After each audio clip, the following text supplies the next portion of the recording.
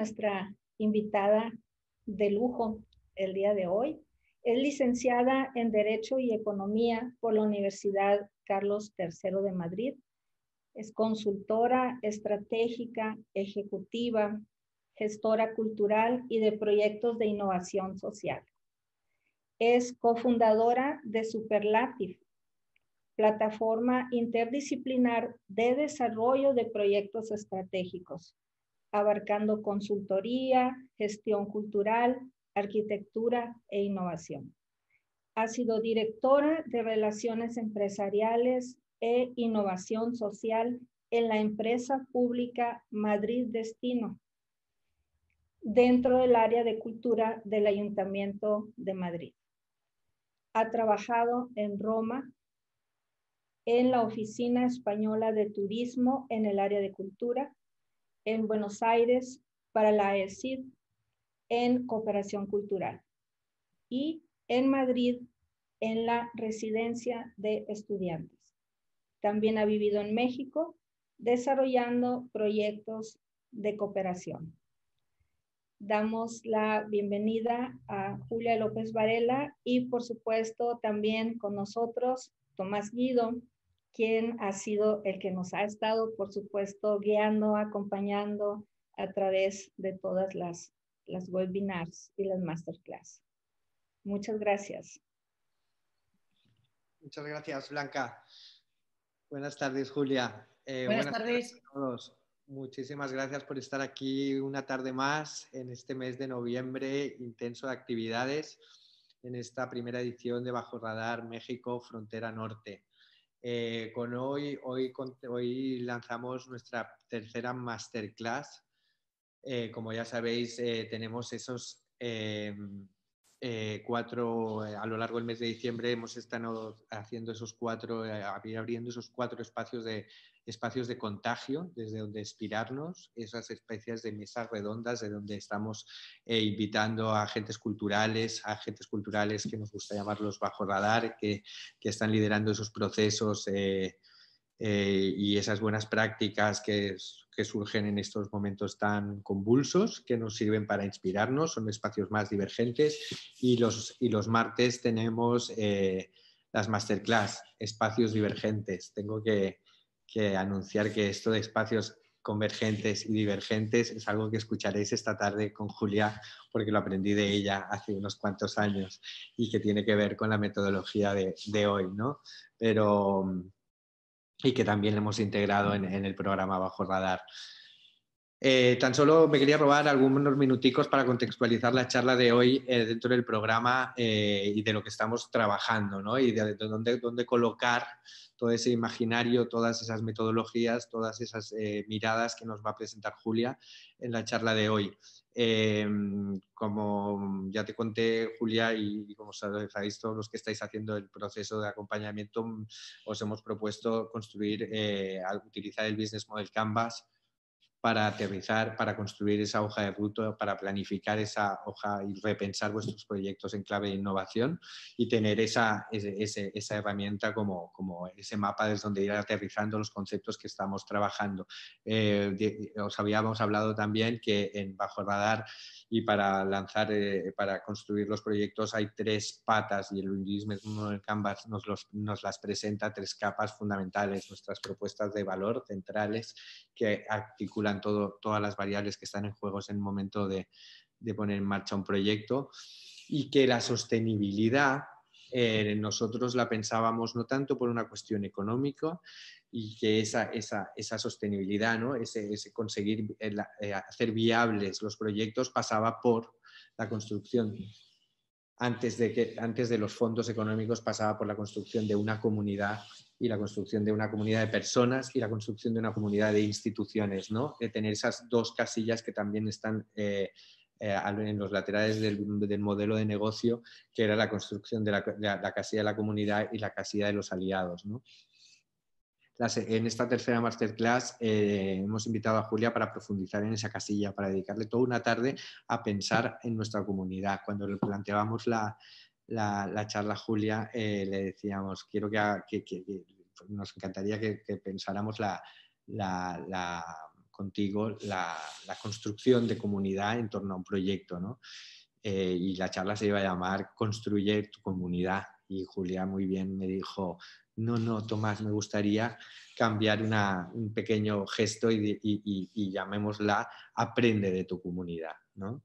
Eh, yo creo que, tiene que ver con nos pareció fantástico ese pequeño gesto, pero muy que cambia toda la manera de pensar en cómo, cómo, cómo vamos a, construir, cómo nos vamos a relacionar, qué queremos, cómo vamos a, a, trabajar en abierto nuestros proyectos, cómo vamos a estar escuchando a nuestros públicos, comunidades, usuarios, beneficiarios, clientes sin perder, perdiendo y también hemos, estamos, hemos estado intentando lanzar, eh, ¿no? romper esa brecha de perder el miedo en, en, utilizar esos nuevos lenguajes que nos conectan a veces con lugares más de la emprendeduría, más de la educación social, aunque eh, desde Bajo Radar buscamos agentes culturales que lideren procesos que, que, sobre todo tengan en el centro de la cultura y a las personas. Eh, no me entretengo más, Muchísimas gracias, Julia, por compartir contigo todo, con nosotros toda tu experiencia. Te iré interrumpiendo a lo mejor a lo largo de tu charla y si necesitas cualquier cosa estaremos aquí atrás, y, pero la próxima hora, hora y media es tuya eh, y dejaremos un buen espacio al final para charlar con, los que tengáis preguntas. Fantástico. Pues muchísimas gracias, Tomás. Eh, muchísimas gracias al equipo de Transit, a Bajo Radar, a México, a, Blanca, a todos y a todas, que me gustaría mucho veros, pero ya sé que por las cuestiones del Zoom y del directo solo vamos a poder interactuar por el chat, lo cual me parece también bien, pero me encantaría estar ahí con vosotras y vosotros. Yo os confieso que soy muy latina, eh, estoy en, Madrid, en España, pero preferiría mil veces estar ahí con vosotras y vosotros físicamente y charlar y bueno, este tipo de, masterclass a mí me gusta hacerla siempre de una forma presencial. De hecho, la palabra conferencia o masterclass o experta no me, no me representa mucho.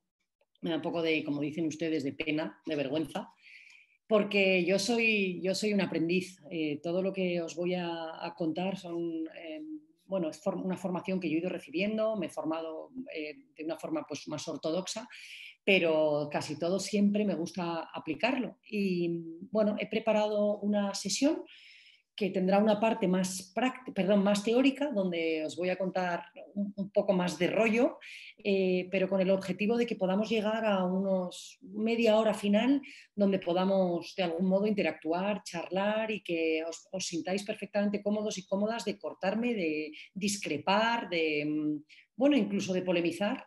Creo que, creo que es fantástico cuando hay, cuando hay un peloteo de, de ideas, ¿no? De, preguntas o de, mm, como dicen los, los eh, angloparlantes, ¿no? de concerns, de esas preocupaciones que tienes que te, que te, inquietan y eso pues será, será un placer que lo, que lo discutamos. He preparado, como os decía, esta sesión con un bloque un poco más de un repaso teórico de cómo concebimos nosotros desde eh, los, que nos dedicamos a la cultura del design thinking o del diseño centrado en el usuario, user experience y estos términos que estoy segura de que habéis oído hablarlos, y los llevamos y los aterrizamos hacia el entorno de la innovación social, de la cultura o del arte.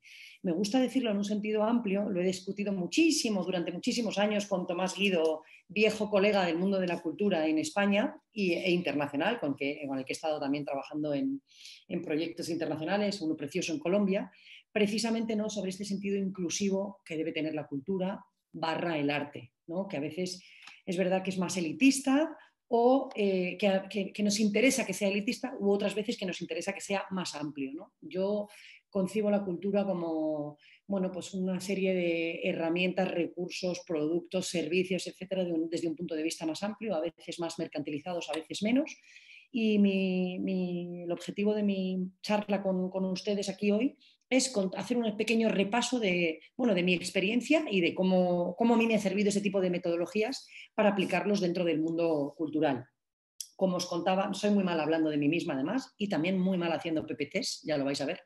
Eh, pero en mi, trayectoria profesional, que he sido una apasionada de la cultura, de la gestión cultural, eh, del arte y del consumo del arte desde, desde lo más, pues como decíamos antes, más eh, ortodoxo, artes escénicas, visuales y demás, hasta una forma de hacer cultura más transversal y más, digamos, radical, con una, con una innovación social o con un efecto sobre las sociedades en las que vivimos desde la gobernanza de nuestros países hasta el feminismo, hasta las desigualdades, que para mí también es una forma de hacer cultura, ¿no? con incidencia. Eh, dicho esto, mm, pues creo que en mi trayectoria una de las eh, cosas que más me representa es mi pasión por la innovación social y el cambio social y, creo que es a través de la cultura. Creo que estamos, también lo estábamos hablando antes, eh, en un contexto muy trágico como es el coronavirus, pero eh, creo que es una oportunidad para replantear mm, pues, paradigmas sobre cómo, nos acercamos hacia la cultura o qué importante ha sido la cultura en estos momentos de confinamiento, esos espacios, ese capital intangible que tiene el ser humano.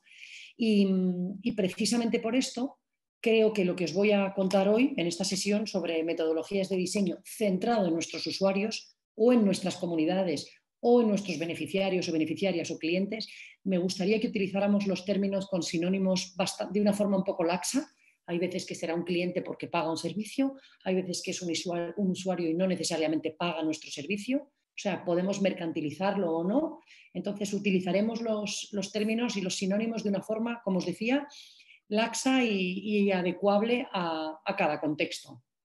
Eh, pero para mí descubrir las metodologías de design thinking ha sido transformador en muchas formas, en, muchos modos en los que yo me he acercado a los proyectos con los que he trabajado desde que he tenido un puesto quizá más institucional en el Ayuntamiento de Madrid y hemos aplicado metodologías de diseño centrado en el usuario hasta mi vida actual, que soy consultora para proyectos que tienen que ver con arquitectura, innovación social, cultura y gestión cultural, alimentación sostenible, arte ciudadano, etcétera, que si nos da tiempo al final de la sesión os cuento un poco cómo, ad hoc cómo hemos aplicado metodologías de diseño para construir este proyecto. De hecho, me lo voy a escribir aquí en mi chuleta para contároslo al final si vamos bien de tiempo. Y, em, luego, pues desde la cooperación internacional, desde el activismo, eh, pues, desde, pues eso, desde lo institucional hasta lo más cultural. Y mm, yo creo que esto es un poco, grosso modo, el contexto donde vamos a charlar esta tarde, donde vamos a compartir esta tarde para mí, esta mañana para, para ustedes. Y sí que me gustaría eh, rápidamente a través del chat, si me podéis decir eh, más o menos de dónde venís, no digo de, qué ciudad o de qué país, sino más o menos en qué estáis, si estáis eh, en proyectos de cultura que tengan que ver con teatro, si tenéis asociaciones culturales, si estáis empezando a pensar en una posibilidad, si trabajáis en algo eh, relacionado con la institución, si vais más por libre, si podéis escribirlo en, el chat, veo si, a ver si alguien está ahí conectado. Si estáis un poco más tímidos o tímidas, no importa, y, vamos ya, le metemos el diente a, la presentación. Sí que me gustaría saber si alguien de ustedes sabe algo de, de Design Thinking o tiene alguna expectativa. Proyecto Cultural de Artes Escénicas y Comunidades, fantástico.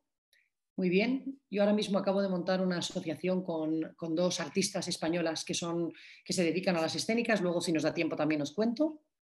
Perfecto. Muy bien. Teatro libre, fantástico. O sea, veo que hay bastantes escénicas. Perfecto. Vale, pues para no ir dilatando, eh, perfecto, universidades, jóvenes, perfecto, agenda cultural, espacio público, gestión de proyectos, fantástico, muy interesante. A mí me interesa mucho también la, interacción que tiene la cultura en el espacio público, pero bueno, esto sería otro debate. Eh, otro debate sobre el arte, el espacio público, la gratuidad o no. esto, es, esto, es, otro tema que si nos da tiempo al final lo, lo vamos viendo. Así que bueno, sin, más dilación, recuperación de la memoria histórica, wow, qué interesante. He trabajado yo también con metodologías de diseño en temas de la UNESCO y de patrimonio, o sea que artes en comunidades marginadas, fantástico. Muy bien, lectura con la población migrante. Me interesa mucho lo que, lo que estáis diciendo porque es más o menos como yo concibo también la cultura, en un sentido amplísimo, no solamente producirla, no solamente eh, relacionarnos con artistas, sino también su incidencia para con la sociedad que, la recibe. ¿no? A veces diríamos que la consume, que la paga, que se beneficia o que simplemente la recibe y, y la sana. De hecho, antes también estábamos hablando de cuán importante están siendo los momentos culturales durante el confinamiento, ¿no? esa, necesidad que tiene el alma también de, leer, de, ir al teatro, de volver a recuperar los espacios escénicos, de bailar, de la expresión, etcétera, que yo creo que lo estamos echando mucho, mucho de menos. ¿no?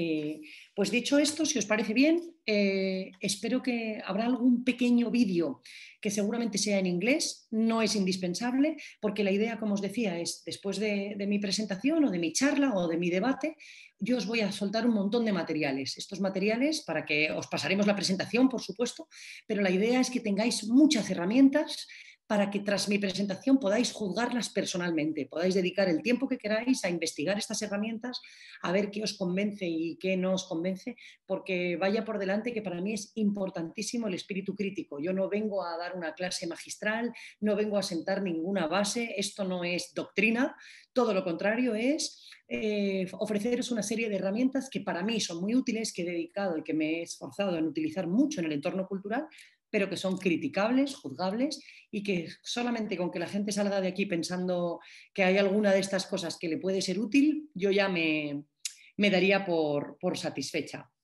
De hecho, estuve revisando la, la charla de Marc Catalá, la del martes pasado, que me pareció interesantísima y está muy bien hilvanada por parte de Tomás como comisario de estas charlas con lo que de lo que vamos a hablar hoy. ¿no? Y, las metodologías que yo os voy a contar tienen muchísimo que ver precisamente con lo que decía Marc del propósito. ¿no? ¿Cuáles son los porqués de nuestros proyectos? ¿Por qué hacemos lo que hacemos? Y este porqué va siempre de la mano de los para quiénes. Para mí el porqué y el para quién son, son indisolubles y mm, me pareció interesantísima la, charla de, de Marc y súper vinculada con lo que vamos a, tratar hoy. ¿no?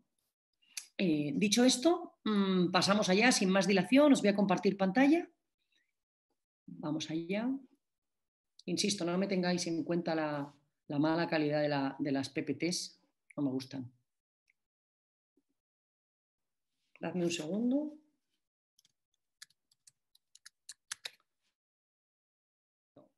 ¿La estáis viendo? ¿Me oís bien? Espero que me oigáis bien y que no haya ningún fallo. No veo a nadie. Tomás, ¿me oís bien? Sí, sí, te oímos y te vemos bien. Perfecto, vale. Muchas gracias. Pues nada, vamos allá. Como os decía, ¿qué pasará en, en, esta sesión? Básicamente es que hablaremos de qué es la innovación centrada en el usuario, metodologías de diseño centradas en el usuario, para lo cual es importante que, charlemos un poquito sobre innovación. Eh, vemos también cómo sucede en el día a día de las organizaciones, de las instituciones, de los foros de aprendizaje, de los proyectos.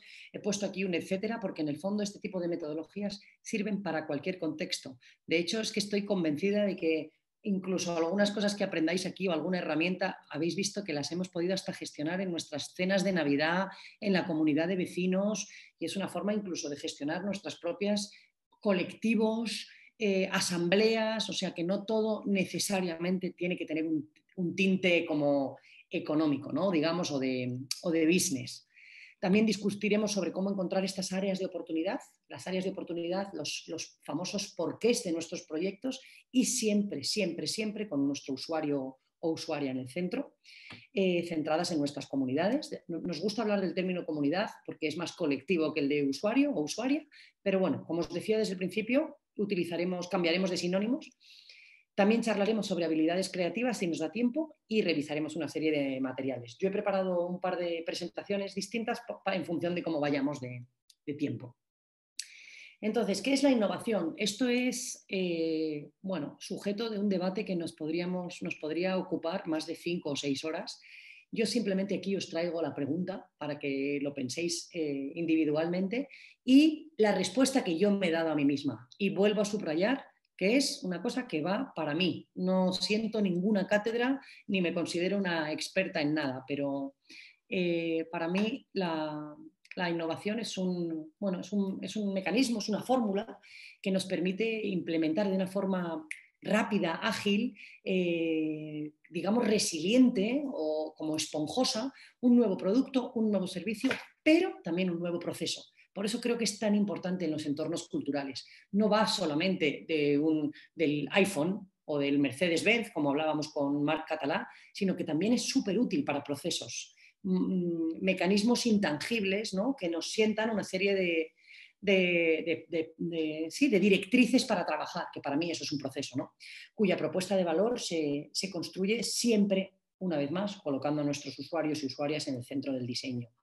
Para mí es determinante que cualquier proyecto que hagamos ponga en el centro a las personas. Es mi opinión y creo que es como funcionan las cosas más cuidadosas y que, bueno, y que, suelen, que, sí, que suelen ser escalables. ¿no? A ver, perdón. Eh, pues como decíamos, es un proceso, no es un resultado. De este proceso siempre cristaliza una propuesta de valor, que son los famosos porqués que hablábamos con Marc, que es percibida por nuestros usuarios o usuarias como diferente eh, y que genera un impacto. Yo estoy muy a favor de las cosas que generan un impacto social positivo, un cambio, un, algo que, bueno, la palabra impacto habla por sí misma, ¿no? que nos choca, que nos, que nos eh, afecta profundamente en el sentido positivo y que conlleva una revisión de nuestro modelo de negocio. Aquí me gustaría también utilizar el sinónimo de, nuestro modelo de sostenibilidad, porque a veces cuando hablamos de estas cosas hay, hay asistentes o, bueno, ya estamos hablando del dinero, no necesariamente.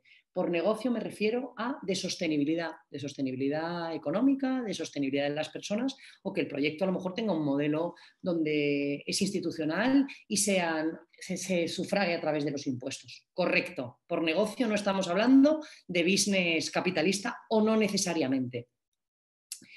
Y luego sobre la innovación hay, grandísimos debates yo solamente os quiero traer aquí un par de, un par de, temas que son los que a mí más, más, me interesan, a los que más he leído, y son un poco más, digamos, los punteros. ¿no? La innovación disruptiva, es un concepto relativamente nuevo, fue acuñado por eh, Clayton Christensen, yo creo que sí, en el 97. Hay un libro muy interesante suyo que se llama The Innovator's Dilemma, que os recomiendo que, que leáis o que ojeéis eh, y luego os he puesto aquí la web. Recordad que podéis tomar apuntes de todo lo que queráis, pero esta información la tendré, la tendréis, os las pasaremos. Eh, pero él habla de bueno, que, la, innovación es disruptiva en el sentido de que un producto o servicio que en sus orígenes nace como residual puede convertirse en, pionero. En general, este tipo de, de, expertos suelen hablar siempre de unas innovaciones muy relacionadas con lo tecnológico, pero es importante que subrayemos que no solo. Y como vamos bien de tiempo, os voy a compartir un trocito del vídeo para que también veáis quién, quién es, lo tengo aquí preparado. Eh, no os preocupéis que no, os voy a poner los siete minutos, pero para que veáis un poco cómo, cómo habla, no está disponible. Bueno. My guest today is Professor Clayton Christensen. Clay, welcome. Oh, thanks, Des. What exactly is disruptive innovation? Explain it. A disruptive innovation is not a breakthrough innovation that makes uh, good products a lot better. But it, we, it has a very specific definition, and that is it transforms a product that historically was so expensive and uh, complicated that only a few people with a lot of money and a lot of skill had access to it. A disruptive innovation makes it so more so much more affordable and accessible that a much larger population have access to it.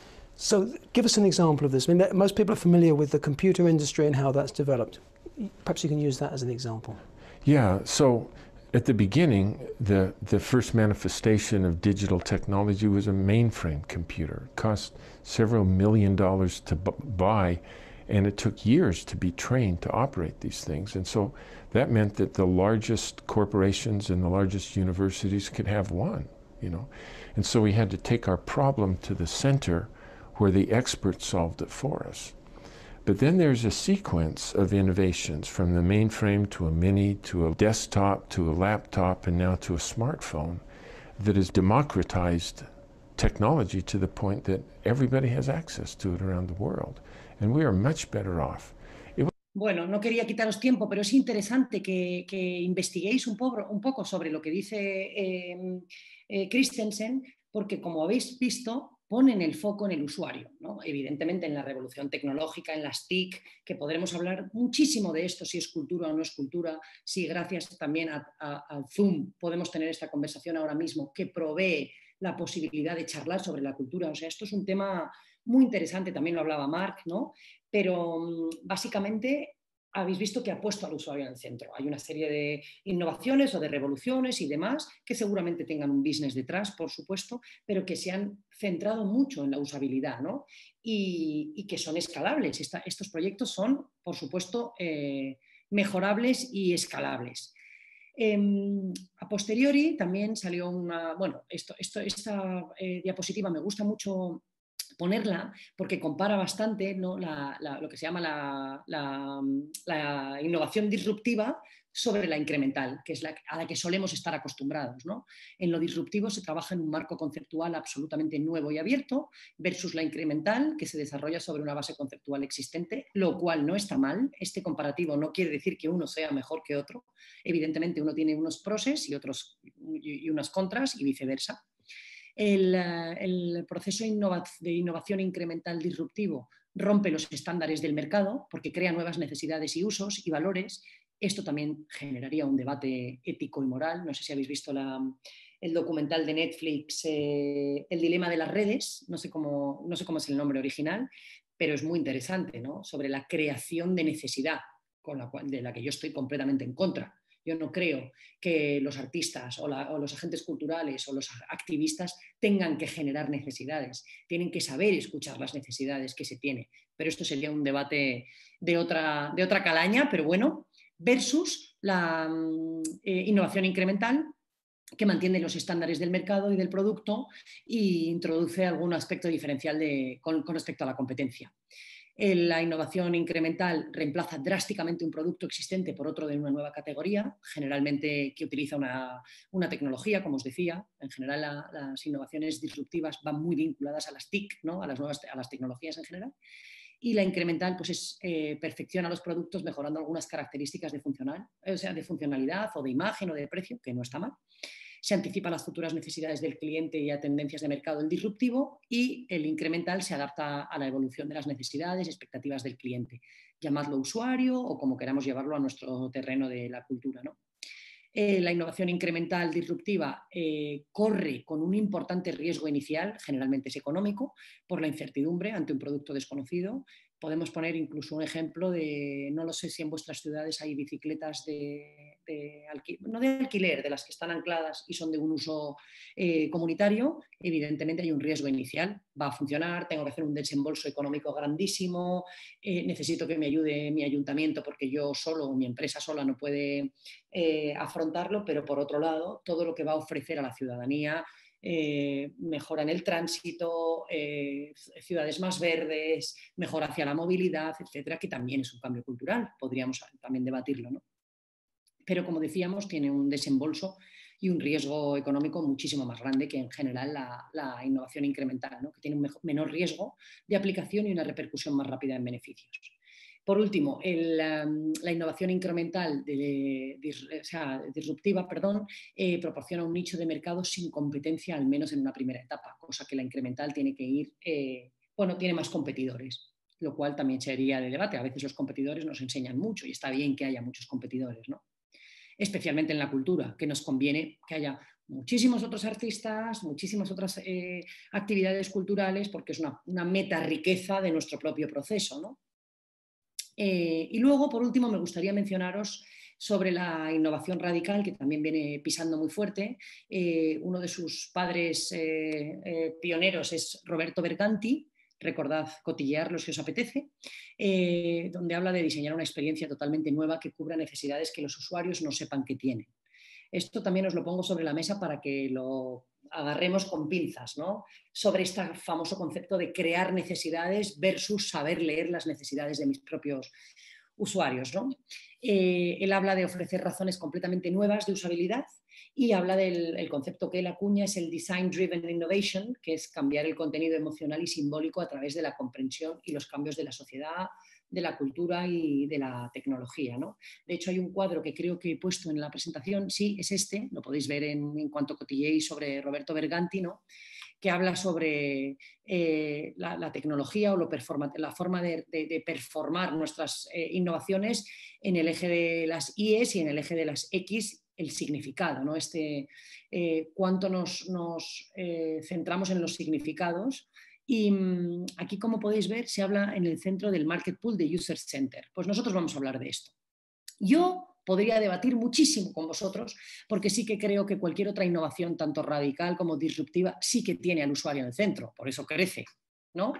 Eh, pero bueno, esto sería, sería otro debate. Pero quería hacer esta contextualización para que entendáis de dónde vienen todas estas metodologías que se, centran en el usuario. Tienen, una, tienen toda una eh, análisis em, antropológico, etnográfico, eh, incluso económico, vital en general. O sea, no es, perdonadme la palabra así un, poco mal educada, pero que, no, que a veces se ve como bullshit y no lo es, en absoluto.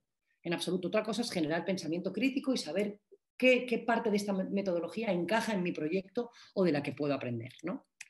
Eh, así pues, el design thinking, que es de lo que trataremos hoy, hablando siempre de nuestras comunidades, es una metodología central de innovación que, redefine la forma de, trabajar en las organizaciones o en las eh, asociaciones o en lo que tengamos. Uno de sus pioneros es Tim Brown, que no sé si habéis oído hablar de él, a mí me, me encanta, me encantan sus libros, luego los enseñaré.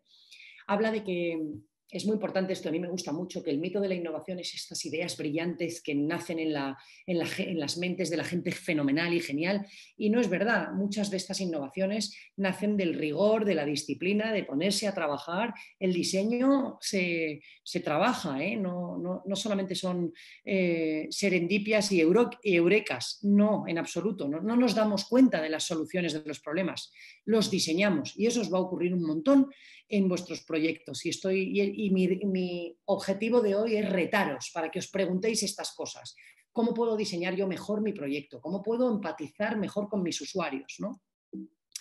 Eh, perdón, ahora. Como os decía, es un proceso colaborativo, que eso es una de las cosas que a mí más me gusta del design thinking, que no se trabaja en soledad, nunca se trabaja en soledad, se unen talentos y se hace de una forma siempre colaborativa y co-creada centrado en las necesidades humanas y cuyo objetivo es resolver problemas que ayuden a la gente y a las organizaciones a ser más innovadoras. Eh, es una metodología centrada en, lograr eh, soluciones que sean humanamente deseables, técnicamente factibles y, por supuesto, no nos olvidemos, de económicamente viables. Por eso también es muy interesante lo que os decía Tomás ¿no? del Business Model Canvas, de una vez que tenemos nuestro propósito, nuestros porqués, eh, cuán factible es nuestro proyecto y luego vamos a hacerlo eh, económicamente viable también. Hoy no hablaremos de esto, hablaremos simplemente de nuestros usuarios y nuestras comunidades. Hay mogollón, hay multitud de, lo vais a encontrar en las redes, en internet, de design thinking, hay todo lo que queráis encontrar, yo luego os daré herramientas y hay un montón de gráficos que plasman la utilidad del proceso en sus distintas fases. He elegido varias que os iré poniendo a lo largo de la, de la presentación pero como os decía, el design thinking es esta eh, cohesión de estos tres grandes pilares, ¿no? la parte más tecnológica o de herramientas. No penséis solamente en la tecnología como una buena página web o una app, no necesariamente, pero qué herramientas pongo a disposición de mi proyecto. La parte de negocio o de viabilidad o de sostenibilidad. Puede, como os decía antes, no necesariamente tiene que tener un modelo de negocio por el cual quiera ganar muchísimo dinero, pero sí quiero ser sostenible. Y con el foco en las personas, ¿no? la usabilidad y la y, que perdure en el tiempo. Y, ese, y esa eh, unión de estos tres grandes eh, círculos es el diseño y la innovación. ¿no? Para mí es cuando hay un, de verdad un diseño exitoso. Entonces, no se trata de crear objetos elegantes o de hacer más, más bonito el mundo que nos rodea, que también, por cierto, que viva también una parte estética y, alegre y agradable y, bonita de nuestros productos y de nuestros eh, sí, proyectos culturales, pero se trata más bien de conectar la necesidad y la utilidad de nuestros usuarios y usuarias, las restricciones y las posibilidades, o sea, aterricemos las cosas y vivámoslos en el mundo real, no, no estamos ahora mismo hablando de hacer cohetes, y de la necesidad y la demanda. ¿no? El design thinking, bueno, luego os contaré ejemplos, pero se puede aplicar a millones de cosas. Se ha utilizado desde construir un puente, evidentemente para construir un puente tengo que hacer diseño eh, de esta índole, tengo que ver por qué se va a utilizar el puente, si es viable, si es factible y si no se va a caer el puente. O sea, en ingeniería muchísimo se habla de design thinking, aunque con otros términos, al diseño de productos, de propuestas y sobre todo, que es a mí lo que me importa, porque es de lo que nos se trata ¿no? en la cultura, es más bien de unos servicios. ¿no? La cultura en general es intangible y, estamos hablando de proyectos artísticos, según os he leído, teatro, teatro social, teatro con eh, personas mayores, eh, ocupación del espacio público, generación de comunidad, seguramente hay radios comunitarias y demás. ¿no? Y el design thinking nos puede ayudar también a refrescar hasta el rediseño de vuestros procesos, procesos perdón, de vuestras experiencias y también es súper útil para vuestra propia estrategia empresarial u organizacional, que insisto, puede ser incluso una ONG. ¿Por qué no? De hecho, en el mundo del, tercer sector o de las ONGs se utiliza muchísimo el design thinking. Si nos vamos a una comunidad eh, chapaneca, digo chapas porque yo viví ahí, tengo mucho amor por México. Eh, de hecho, mm, eh, me fui con una organización italiana y una de las cosas que se hacía era poner una turbina en, la, en, el, en el, río para que esa turbina generase energía para las comunidades pues bueno, era una necesidad que se tenía, se trabajó junto con ellos, se co-creó y sin embargo no pensamos en una gran cosa que es que los materiales, en caso de, estropearse, tenían que venir de Italia. Error. Pues esto, si lo hubiéramos prototipado antes de hacerlo en grande, que ahora os lo contaré, no habría pasado. Para mí eso es un súper aprendizaje que me llevo de esta metodología, haberme enseñado a cómo empatizar con nuestros usuarios y saber que si a ellos se les estropea la turbina, yo estoy en Italia, pero ellos están allí en su comunidad y no tienen forma de encontrar la, herramienta que sustituye a la turbina. Muy mal, error. Para mí un grandísimo aprendizaje que me llevaré a la tumba. ¿no? Eh, retomando un poco lo que hablábamos antes, el proceso de innovación o cómo queremos innovar en nuestros proyectos culturales, tiene este aspecto. A mí me encanta esta diapositiva porque es cómo nos vamos a sentir cuando cualquiera de ustedes se plantee cómo, repensar sus proyectos, vamos a empezar así, en un momento confuso, eh, el, punto de partida siempre es confuso, siempre es farragoso, siempre es desagradable, siempre dices, lo dejo, me quedo como estoy, prefiero quedarme como estoy, que es lo, malo conocido, ¿no? Es, es, muy difícil de definir cómo voy a empezar, no tengo ni idea e imposible de predecir, no tengo ni idea si yo me planteo este proceso, cómo voy a acabar. Y además dependerá de múltiples factores que son cambiantes y variables en función de nuestro entorno. Véase contexto COVID.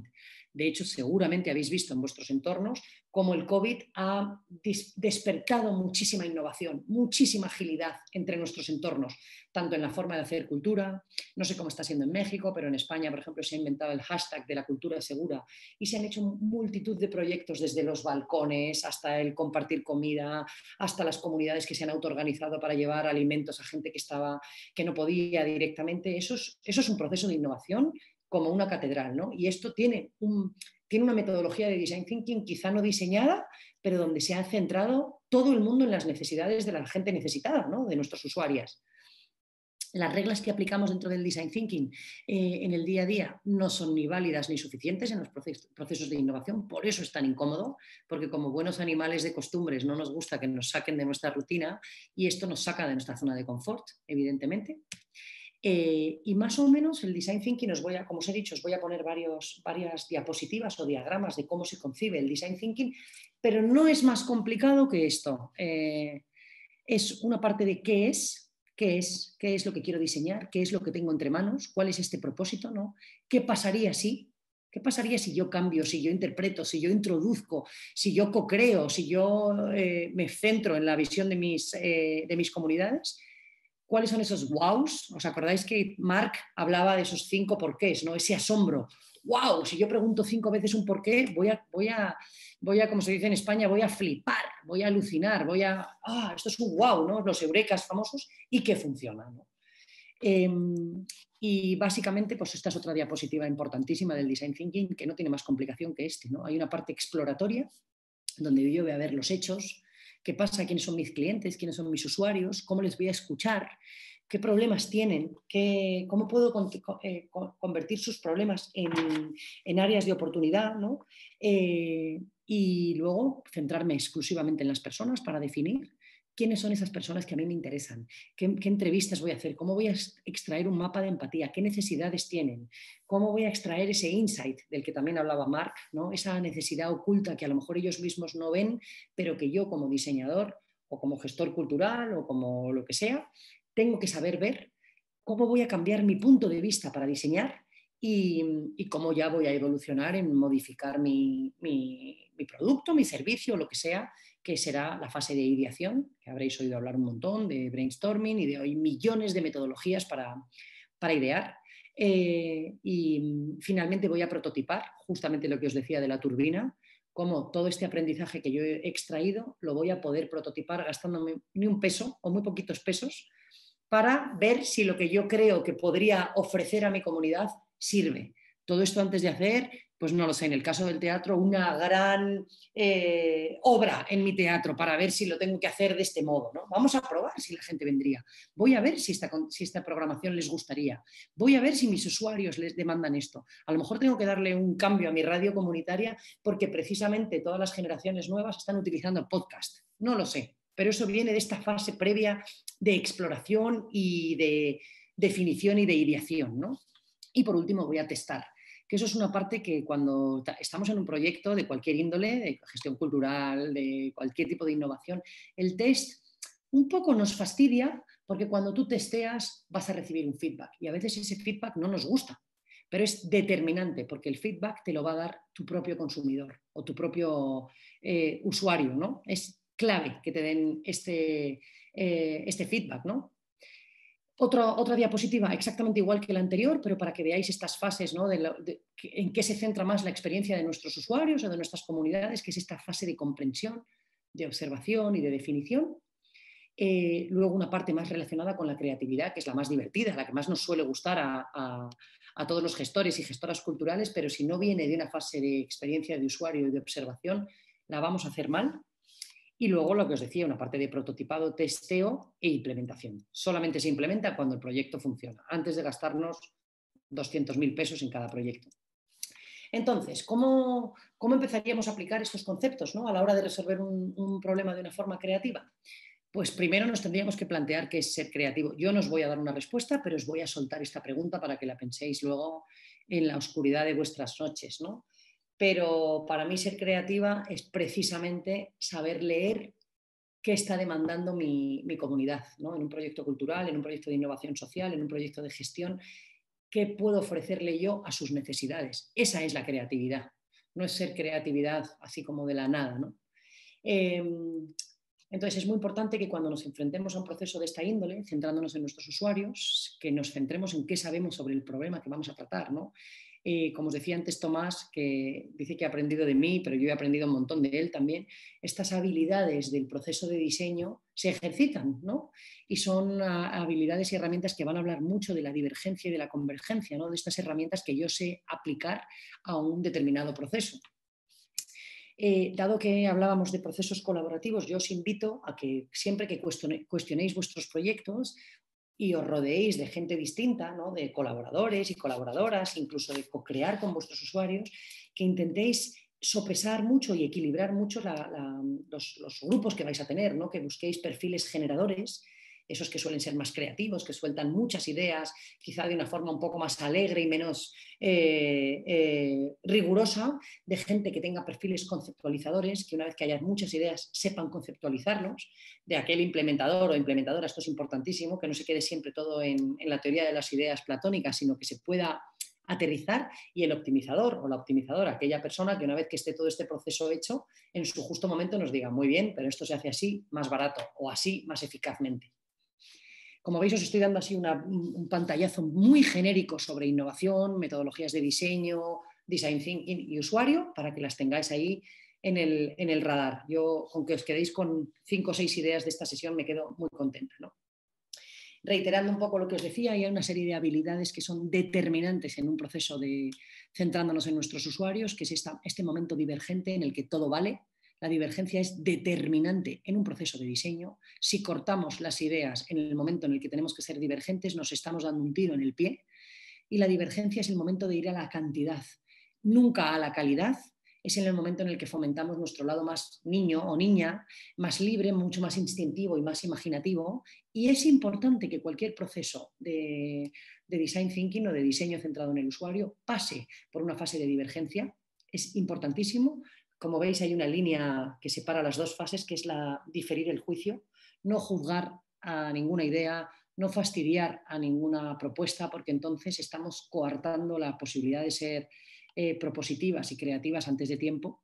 Y por último, ir a una fase de convergencia que tendrá su justo momento, que es el momento de la selección, de la calidad, el pensamiento más crítico. Aquí sí se puede ser más crítico, se puede decir por qué se discrepa de una idea, sí que es mucho más intelectual y es más adulto. Entonces es muy importante esta mm, combinación de, ambos momentos en, un proceso de diseño de esta índole. ¿no?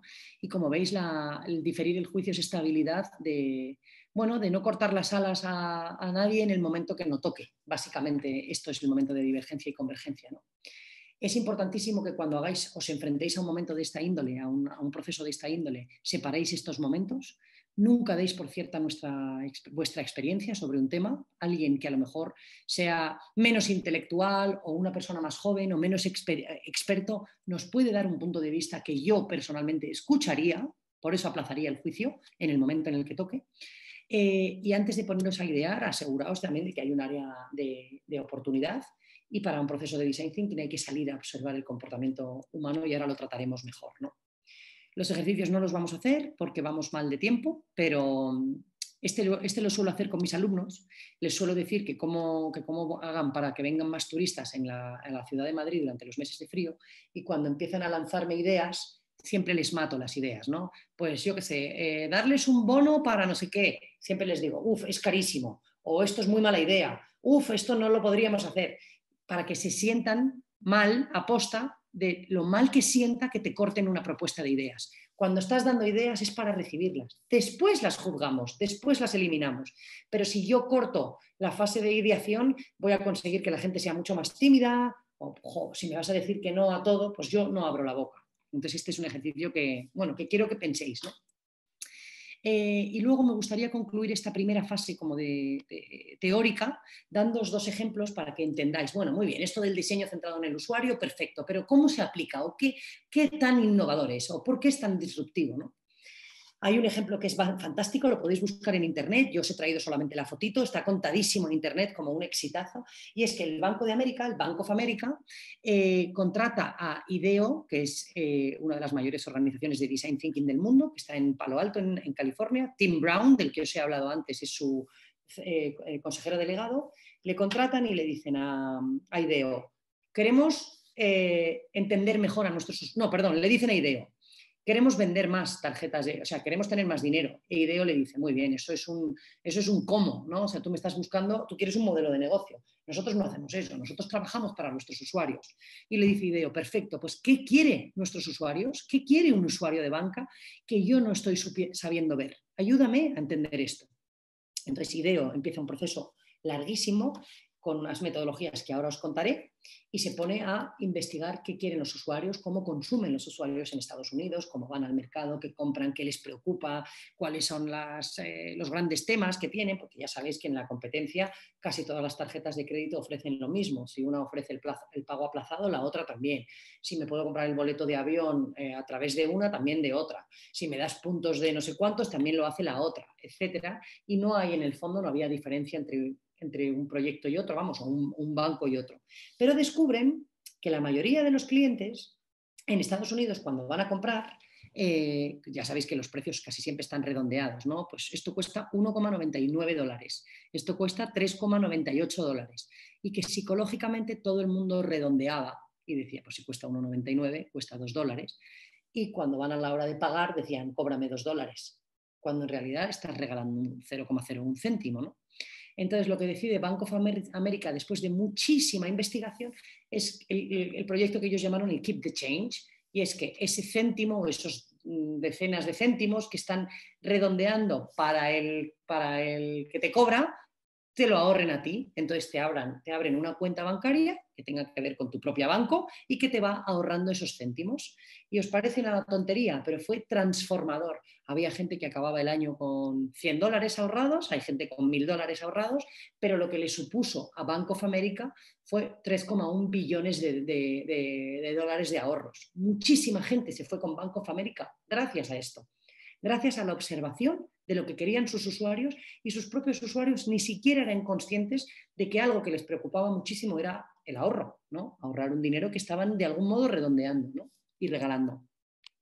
¿Cómo vais? Espero que bien. Ni os veo, ni os escucho, pero espero que todo vaya bien. Eh, Tomás. Muy bien, Julia, a tope, como siempre. Bien, bien, bien. A ver si estoy aquí cogiendo mucha carrerilla. Perdón, cogiendo no se dice en México, agarrando mucha carrerilla eh, pero bueno, voy a terminar un, ejemplito más y voy a pasar ya a darles más chicha de herramientas. ¿Te parece? Me parece perfecto. Te dejo el ritmo. Vale, perfecto. Pues nada, otro, otro, otro ejemplo que a mí me gusta muchísimo, que también es un consejo que me gustaría daros, que es fijaros en esos perfiles un poco más eh, disruptivos, ¿no? en esos usuarios o usuarias que sean más duros de pelar o que no siempre vayan a vuestras sesiones, porque podemos aprender de ellos, podemos ofrecerles o atraerlos hacia nuestros sectores de una forma muy, muy potente, aprendiendo no del enemigo, digamos, pero de, aquel, de aquellas personas que en el mundo de la cultura hay un montón, y más hoy en día con el mundo de las tecnologías y de las redes sociales, que es el famoso o la famosa hater. ¿no? Y este es, eh, seguro que conocéis esta marca, Oxo, y es una marca de, de utensilios de cocina, pues no sé si es sueca, creo que es sueca, sí, y son pues esos utensilios de cocina relativamente accesibles, baratos, y bueno, uno de sus diseñadores eh, eh, bueno, diseñaba eh, materiales de, cocina generalmente para el target o los usuarios habituales, que solían ser pues, adultos en su máxima capacidad de, ¿cómo se dice?, de motora, ¿no?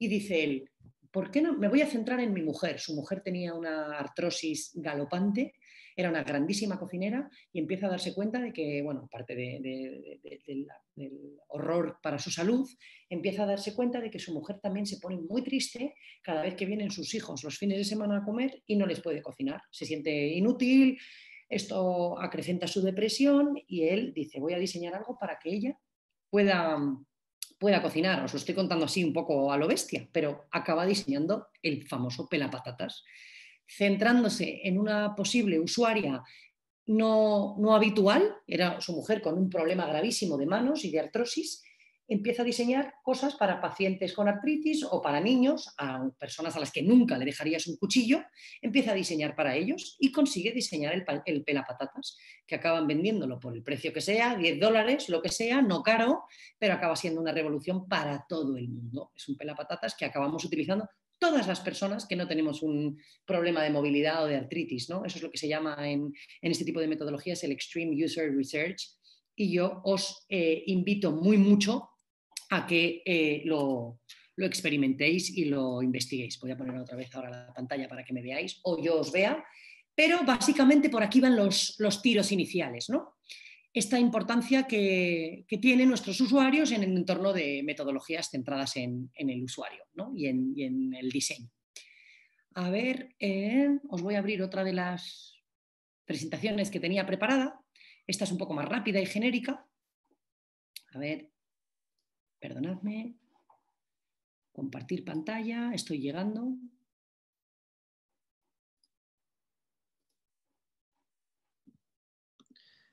Llego, llego, llego, perdonad, que lo tenía. Te voy a robar un minutico para, para, darte, para que puedas respirar y tomar agua. Venga. Eh, no, solo recordar alguna cosa que me has hecho pensar, ¿no? Em, cuando hablabas de la definición de innovación, ¿no? Em, yo me arriesgo a acompañarte y a lanzar la mía, ¿no? Y básicamente es que innovación es una palabra como que muy, muy grandilocuente y que siempre ha miedo y demasiado usada y demasiado mal usada y básicamente como para descargarla, ¿no? A mí me gusta decir que la innovación es, es, poner en valor la manera eh, que hacemos nosotros las cosas diferentes. ¿no? La manera que nosotros proponemos de hacer, nuestra manera, ¿no? A veces cuando alguien dice, no, nosotros hacemos talleres de danza en las escuelas, y yo digo, bueno, ¿y qué? Tú, como, como, como tú, 20.000 personas hacen talleres de danza en las escuelas.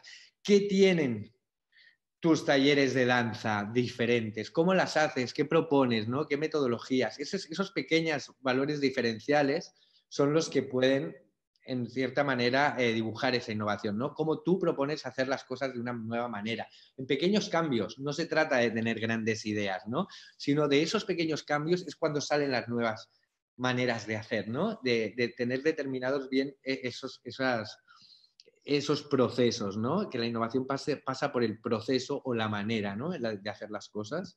Total y, recogiendo un poco en, esos procesos, en ese, en ese, momento que has hablado de los, no sé si me adelanto a tu charla, ¿no? pero de esos momentos divergentes o de, o de, ¿no? de preguntar a los usuarios, de, de, analizar, de probar, de escuchar, ¿no? que, que hacías tanto énfasis, ¿no? de lanzar ideas, de, de, de, no juzgar ¿no? y de, estar abierto. ¿no? A mí me gusta mucho algo que también aprendí de ti en alguno de nuestros talleres conjuntos, eh, que cuando hablábamos de valorar las ideas que surgen en un brainstorming, que todo el mundo lo ha hecho y es una herramienta muy fácil, ¿no? de sentarnos con tu equipo y a, lanzar ideas sobre algo que queremos proponer, ¿no? y para conectarlo con, tu charla. ¿no? A mí me gusta mucho y siempre me parece muy ilustrativo este, esta manera de analizar, que cuando tú coges las ideas y las empiezas a agrupar después de ese proceso, y hay una manera que a mí me encanta de ponerlas, en, de, valorar cuáles son mejores o peores, que es pensar, cogerlas y de, todo el grupo de ideas que han surgido sobre un, sobre un proceso, decir cuál es la, idea más innovadora, la que más nos gusta, la que nos, aunque sea imposible hacer, pero sería la más chula, la que más nos, aunque tal vez es imposible, ¿no? Pero es la que más nos gusta y sería una, seguramente la identificaremos fácil, ¿no?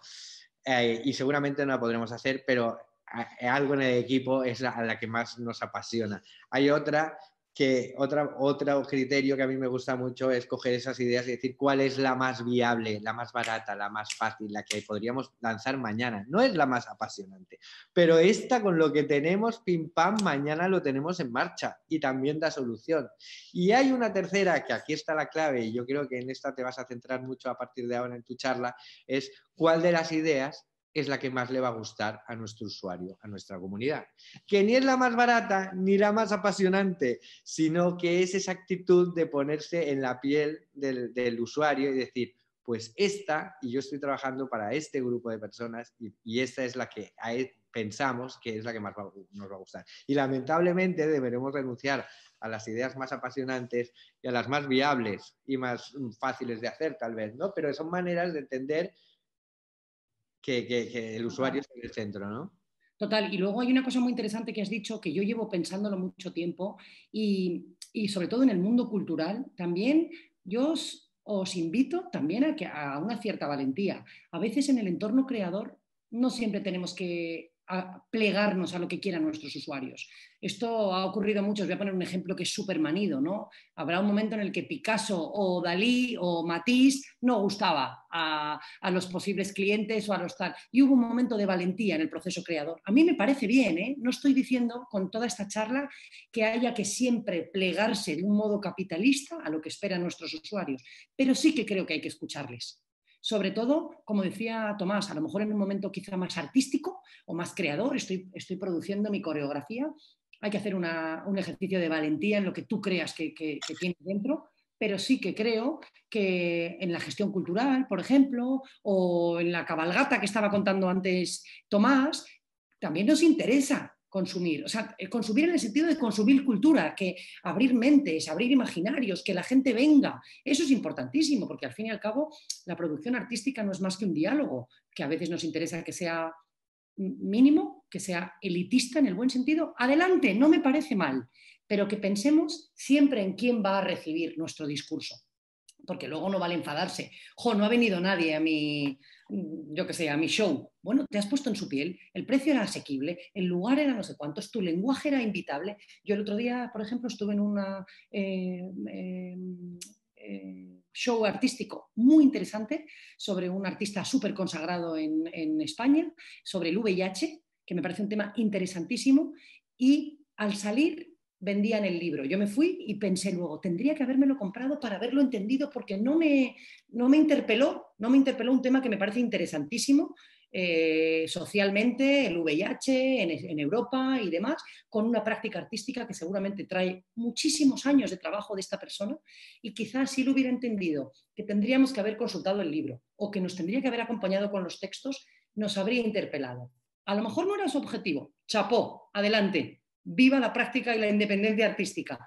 Pero a mí personalmente no me interpeló. Y me gusta que haya estos debates sobre, bueno, lo que ha dicho Tomás es, es, muy, es muy potente y lo, lo discutiremos ahora. Tengo calor de, yo creo que, pecamos los gestores culturales mucho en pensar, somos tan apasionados con nuestros proyectos y nuestras disciplinas y nuestros procesos y, realmente gracias a esa pasión es como salen adelante los proyectos culturales, si no sería imposible porque no estamos hablando de negocio y menos de negocios rentables.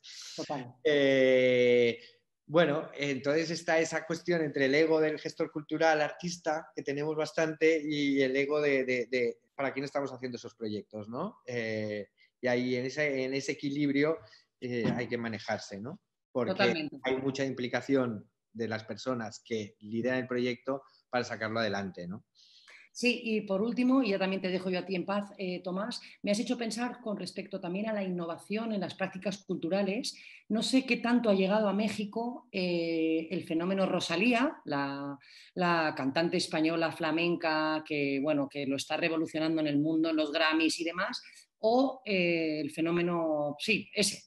Entonces, es una artista, es una creadora, pero ha habido mucha innovación como producto ella se declara a sí misma como un alma libre, a mí me encanta, la respeto muchísimo, me parece potentísima, pero tiene una industria musical por detrás, o sea, su innovación también ha llegado con un equipo de Sony.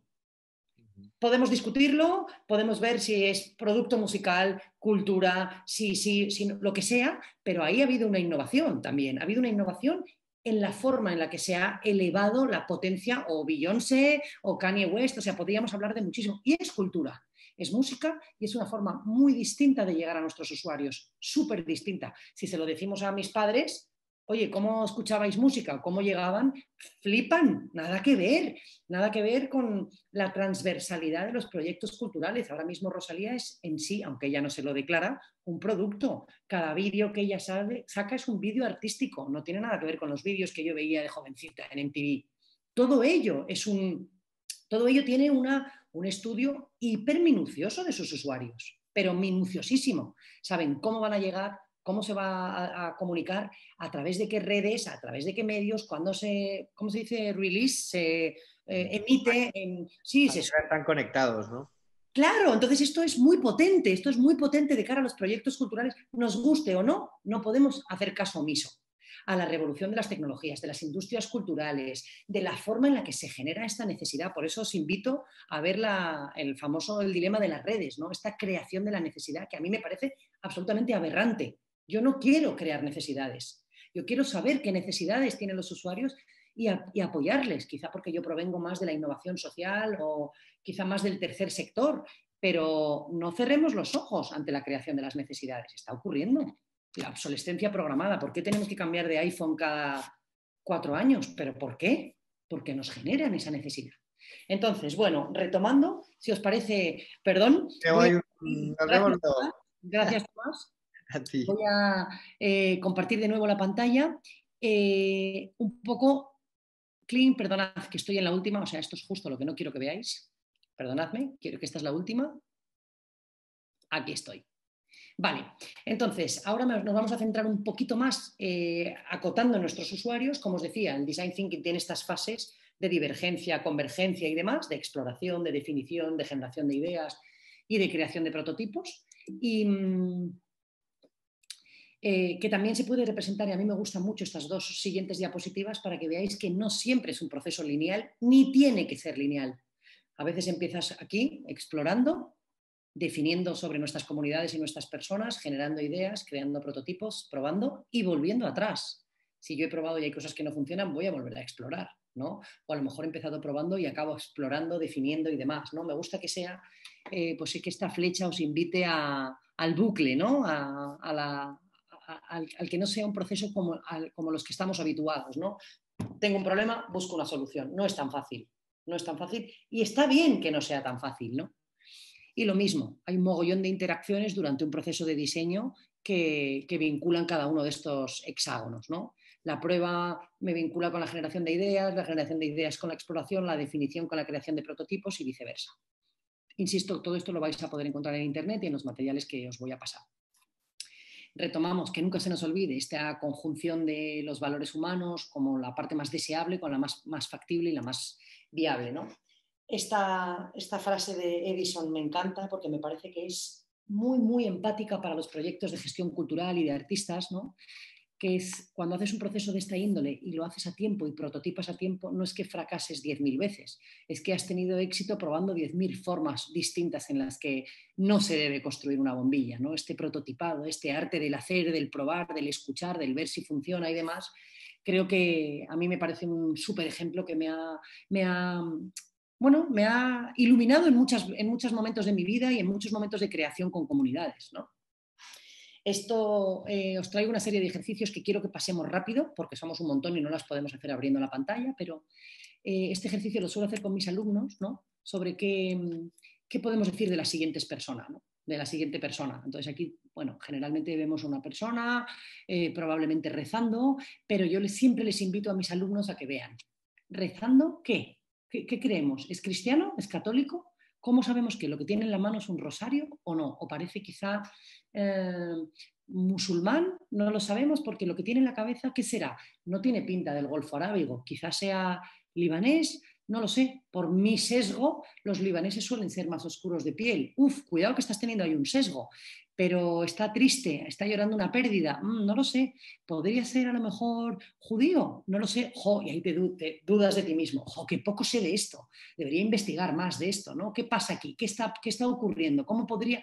Esto evidentemente es un ejemplo didáctico, ¿no? Pero os invita a despertar mucha más curiosidad del sesgo habitual, ¿no? De la forma en la que damos por hecho, ¿no? lo que llamamos generalmente en Design Thinking la interpretación, cómo interpretamos las, las informaciones, ¿no? ¿O qué pensamos de estas dos personas? Bueno, seguramente son noruegas, eh, nórdicas como mínimo, súper rubias. Bueno, ¿por qué no son estadounidenses? ¿O por qué estamos dando por hecho que son dos chicas, hermanas, súper felices, que están en un parque? A lo mejor todo lo contrario, acaban de pasar por un bache grandísimo y les hemos pillado en un momento de sonrisa es importante esto. Esto es lo que os digo, que fomentéis esa curiosidad de vuestros usuarios. Esto evidentemente es un ejemplo metodológico, pero es para abrir nuestros ojos en este pensar fuera de la caja. No todo lo que ven mis ojos es lo que mi cerebro está procesando como que es lo real. Cuidado con los sesgos en los que damos por hecho las cosas, ¿no? Eh, vuelvo a reiterar el pensamiento convergente y divergente, esta importancia de estos momentos de interpretación y mm, selección como os decía, importantísimo co-crear junto a vuestros usuarios. Este esta es una pequeña presentación que he hecho para que pensemos en nuestros usuarios. En los proyectos que estabais mencionando de teatro comunitario o gente que trabaja con eh, gente de la tercera edad o radios o artistas o lo que sea, siempre, siempre, o mi experiencia como, bueno, yo estoy en una asociación con artistas, siempre construimos todos juntos, ya sea entre nosotros como con nuestros propios públicos. Los traemos a co-crear ese momento que os decía de respeto de la co-creación de las ideas, qué ideas nos parecen más valientes, más factibles, más, más, eh, divertidas, lo que sea. ¿no? Ya veremos si luego nos queremos quedar con unas u otras.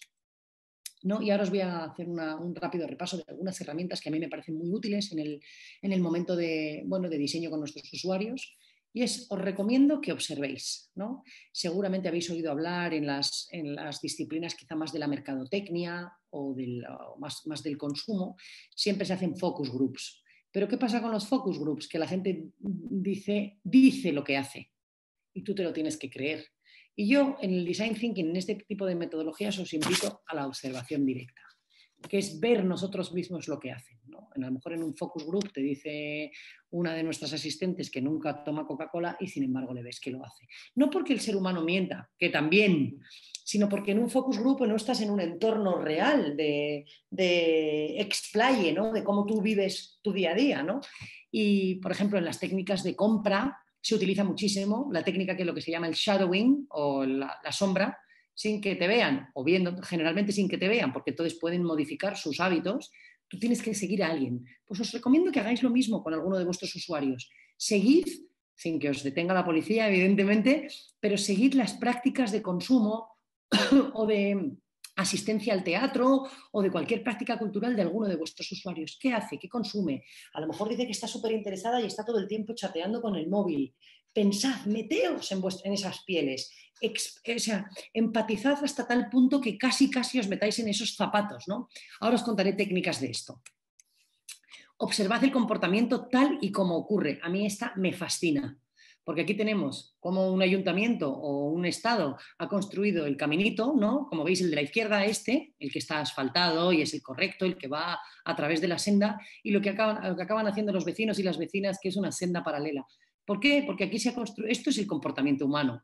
no quieren ir por aquí, al pueblito, quieren ir por aquí, porque seguramente sea más corto, por lo que sea. ¿Cómo no nos hemos dado cuenta, como diseñadores de carreteras, que el, que el ¿cómo se dice?, la acera o que el pedestrian way era este. Evidentemente también os lo pongo como un chiste, ¿no? Pero es la importancia de la observación del comportamiento. No necesariamente cuando nosotros diseñamos qué es lo mejor, es lo que realmente va a ocurrir entre nuestras comunidades o nuestros usuarios observadlo, dedicadle tiempo a ello.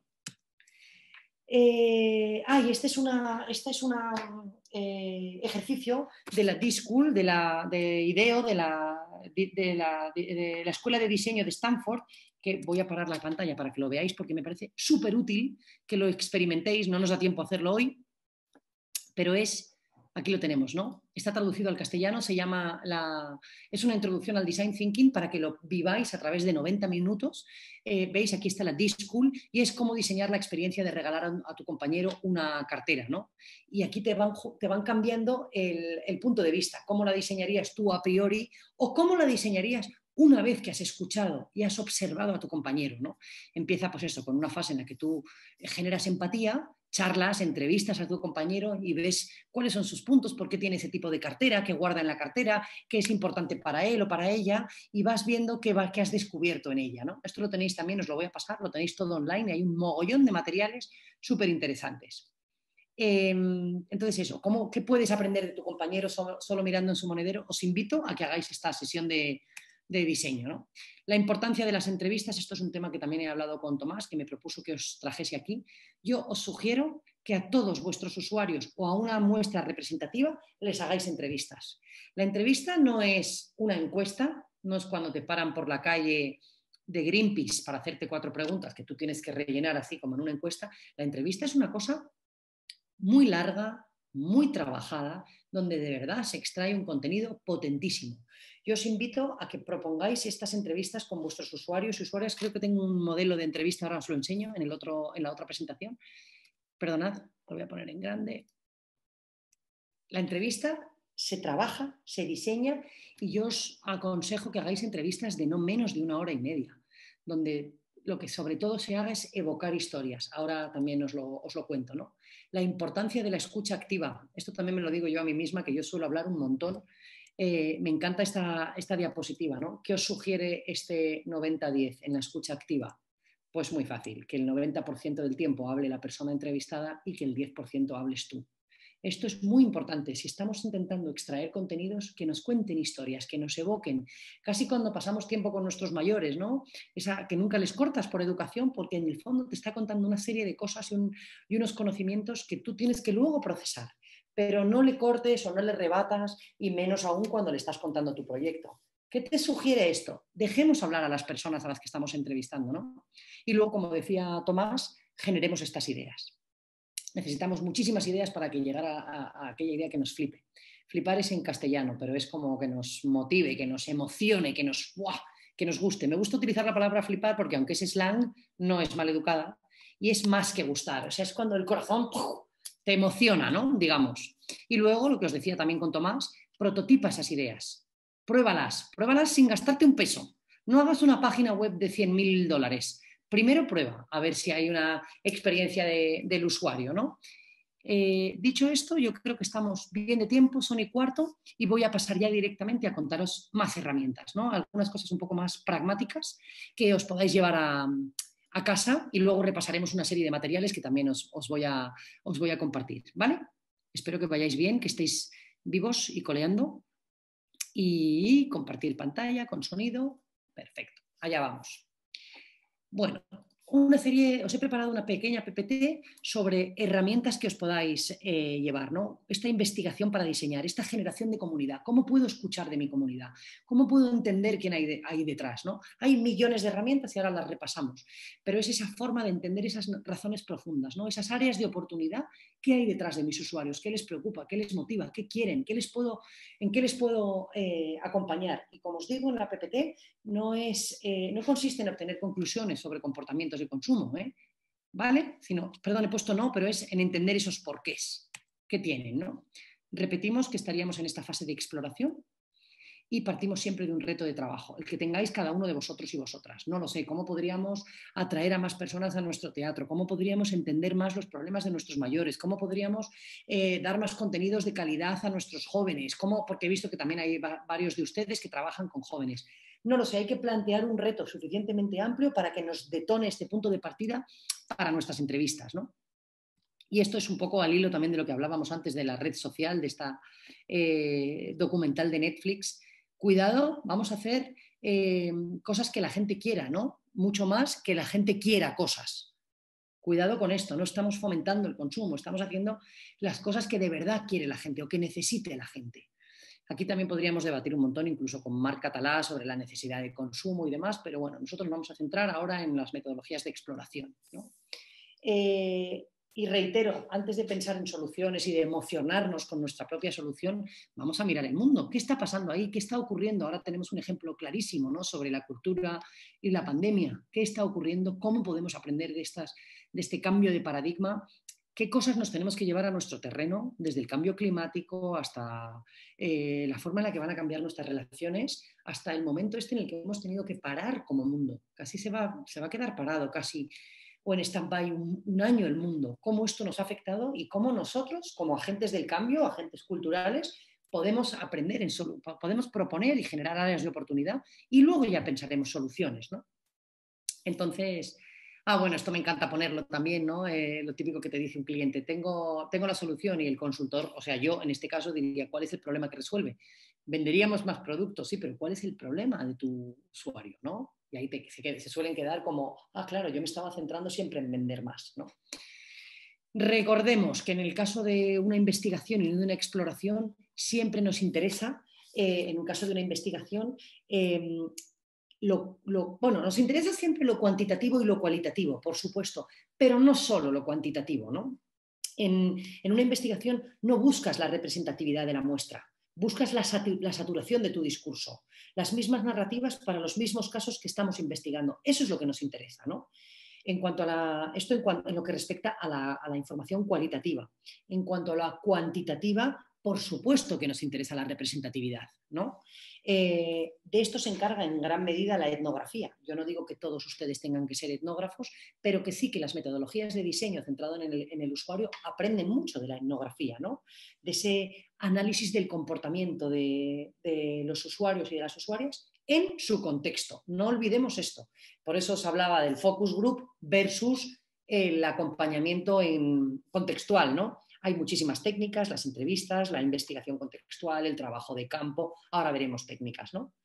Eh, y en cuanto a lo cuantitativo, os voy a decir obviedades, pero es importante ponerlas sobre la mesa la investigación de mercado, los quiénes y los qué, lo más estadístico. Es importante también tener estadísticas y volúmenes, es más amplio, necesita una valoración y se suele hacer a través de focus groups y de encuestas. Y sin embargo, lo cualitativo, que va más vinculado, como os decía, a la saturación del discurso, es, la es lo, lo que nosotros solemos utilizar en Design Thinking como investigación de diseño.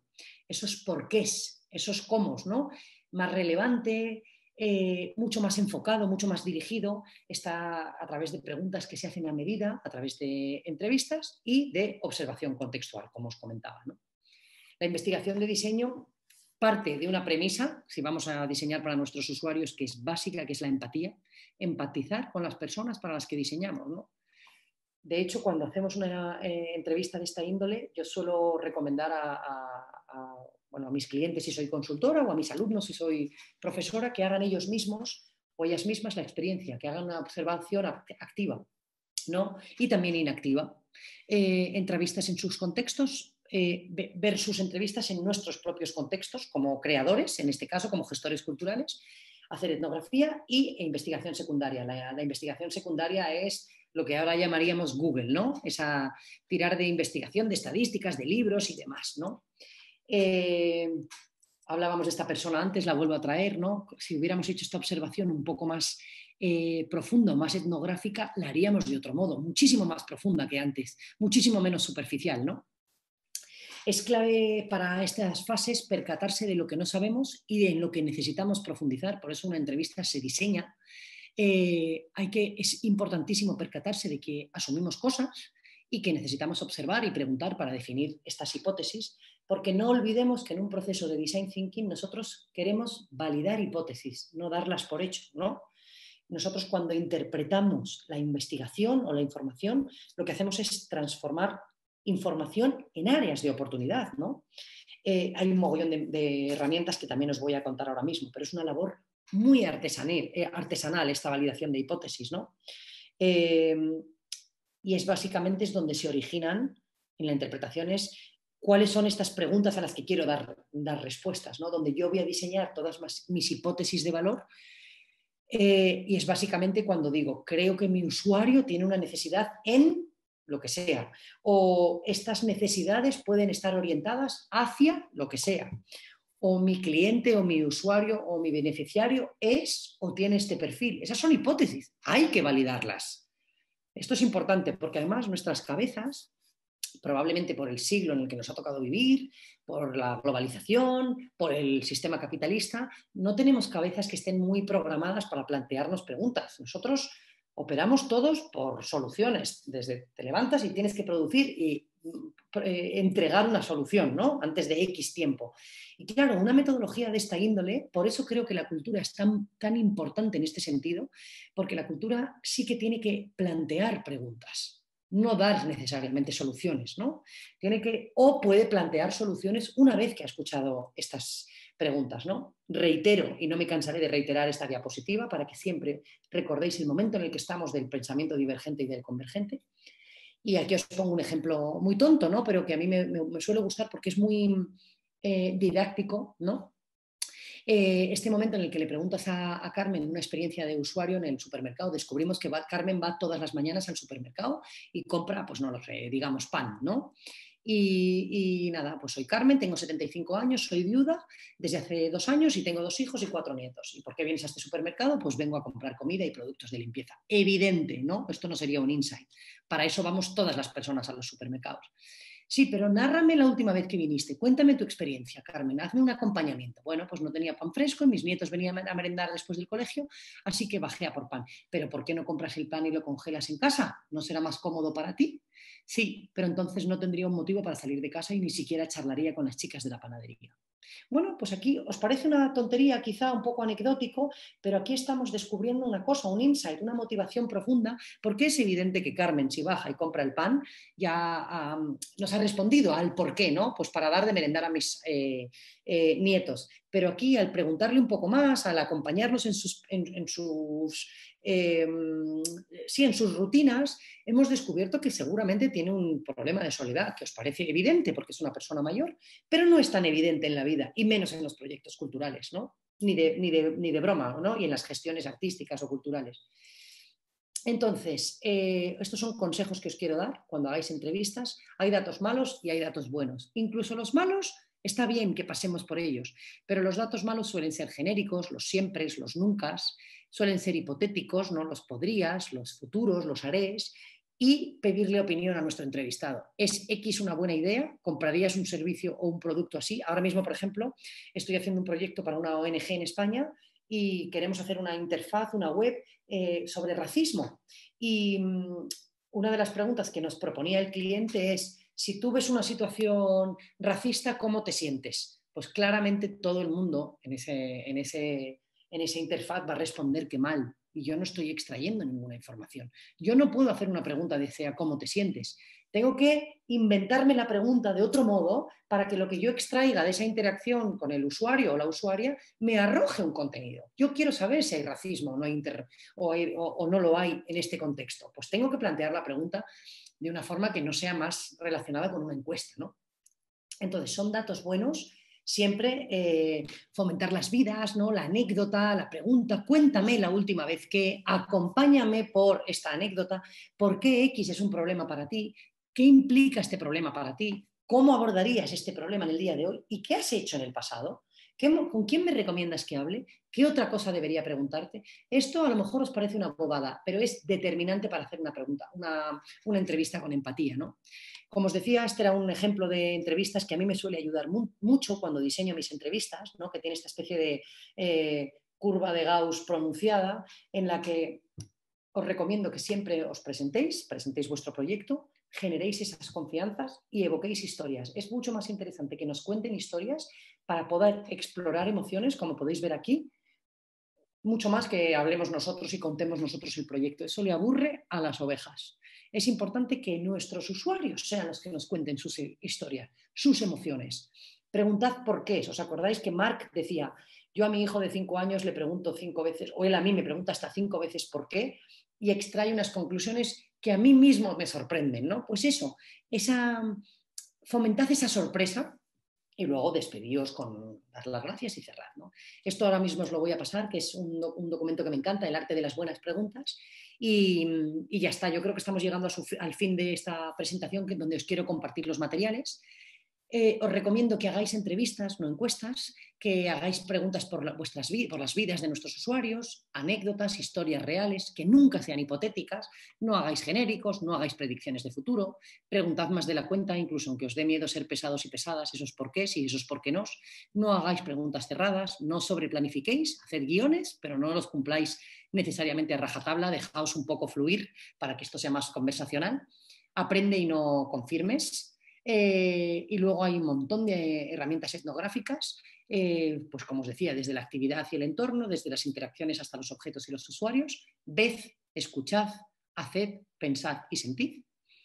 Eh, ¿Y de quién? Este es el core de nuestro asunto. ¿De quién queremos aprender? ¿Quién es nuestra comunidad? ¿O quién puede ser nuestra hipotética comunidad? ¿A quién queremos preguntar? Tiene que ser, ¿os acordáis cuando os contaba el caso del pelapatatas? A lo mejor nuestra pregunta, una de nuestras entrevistas es a un usuario completamente de las antípodas de quien podría venir. Nos puede interesar, ¿por qué no? ¿No? O puede no interesarnos, ¿no? Recordad observar el comportamiento, esta, esta diapo que os puse antes, y documentad todo. Entonces, dicho esto, la investigación secundaria es importante también, el Google, eh, los artículos, los blogs, los vídeos, los expertos y demás, qué está pasando en el sector, qué están haciendo otras personas. Haced vuestro plan de investigación, cuál es vuestra principal pregunta, qué queréis sobre ello, etcétera. Bueno, en fin, esto voy a pasar un poquito más rápido para tener más tiempo de, charla y sobre todo quería llegar a esto, que os lo voy a pasar, no hace falta que hagáis una foto ni una captura de pantalla, esto lo vais a tener todo, pero os he preparado... Em, yo creo que como unos, grandes bloques de, materiales para que los eh, estudiéis en casa.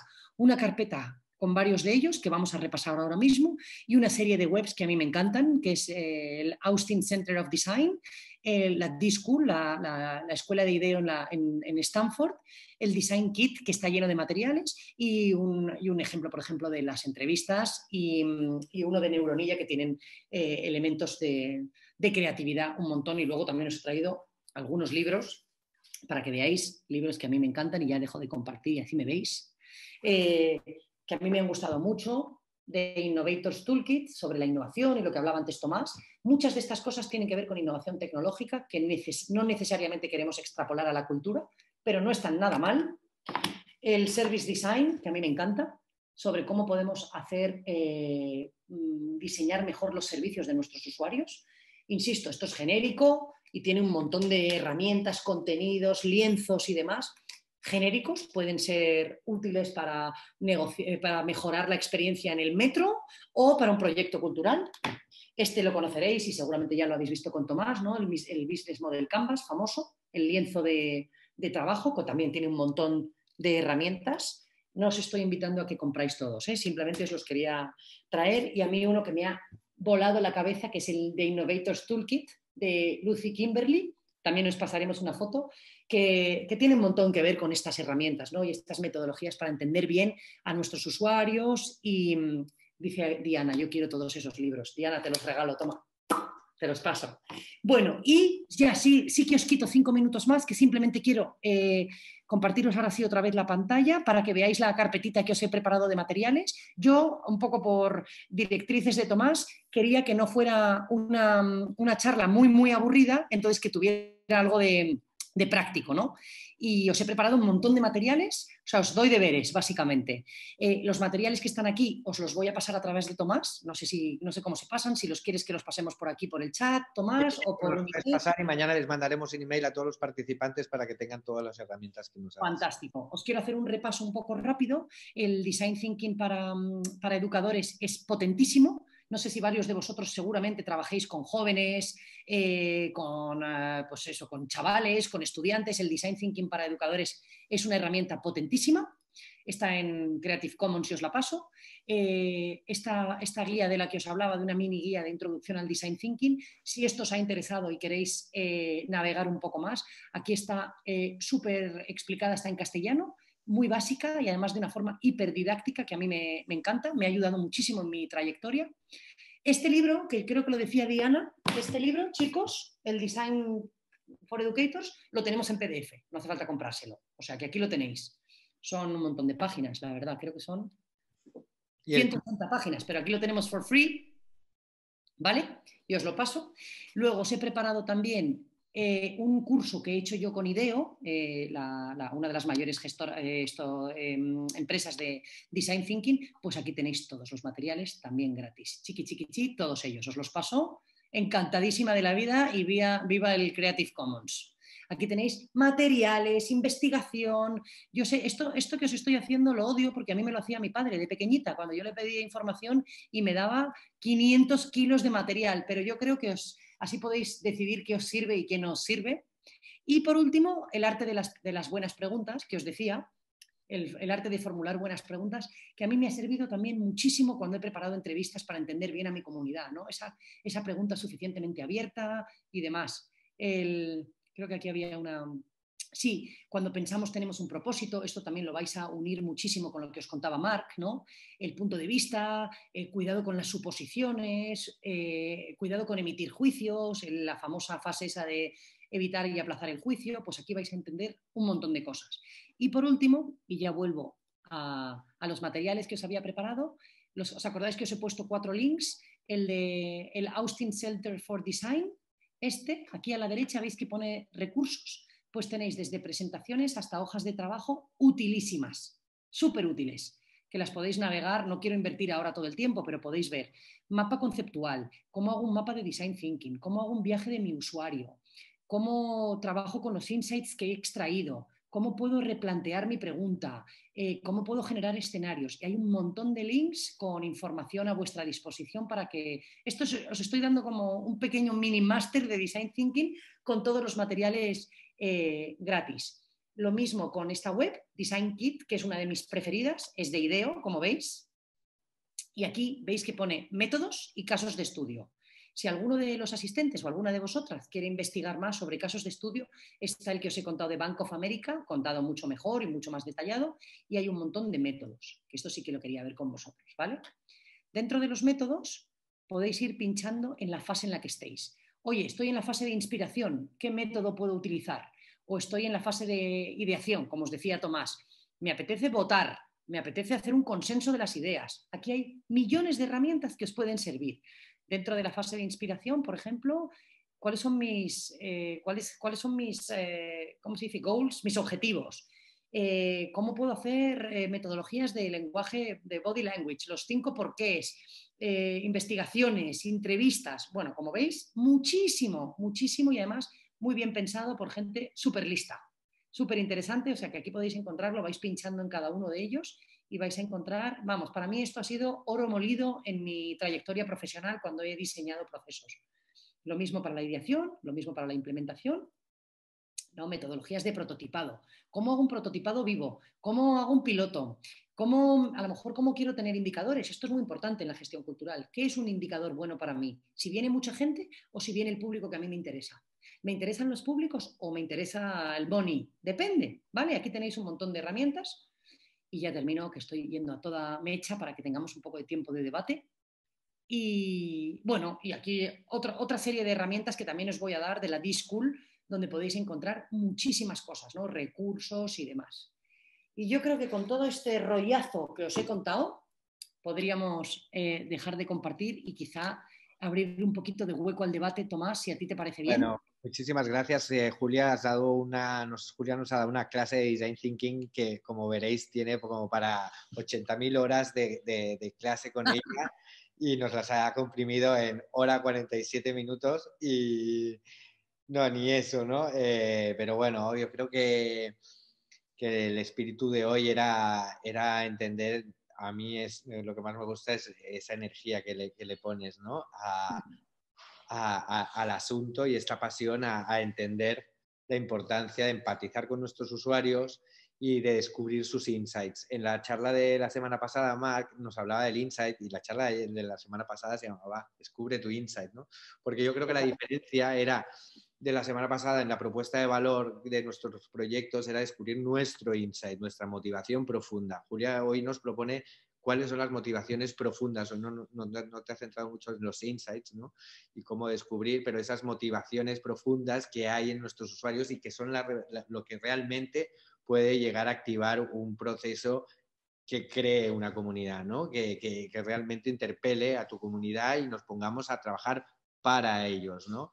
Eh, yo creo que en todo bajo radar lo que estamos haciendo es sacar ese ejercicio de, quitarnos el ego del gestor cultural, ¿no? De, yo soy el que voy a emprender la idea y, aprender a, mirar a nuestros usuarios y la semana que viene aprenderemos a mirar a nuestra comunidad y qué, nuestros, qué, qué, ofrecen nuestros proyectos a nuestros posibles aliados. O sea que también nos volveremos a salir y a buscar esas motivaciones profundas de las instituciones que nos pueden colaborar. Hoy estábamos hablando de las motivaciones profundas que hay detrás de nuestras comunidades y eh, la semana pasada hablábamos de nuestras esas motivaciones profundas de nosotros y de nuestro equipo para lanzar eh, proyectos desde nuestros valores, nuestros deseos y nuestras creencias, ¿no?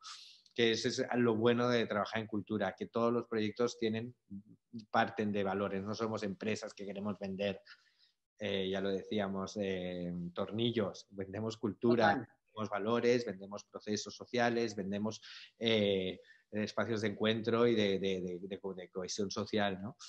Em, no sé, aquí abrimos el espacio de si alguien tiene ganas de preguntar algo a Julia, hacer alguna reflexión.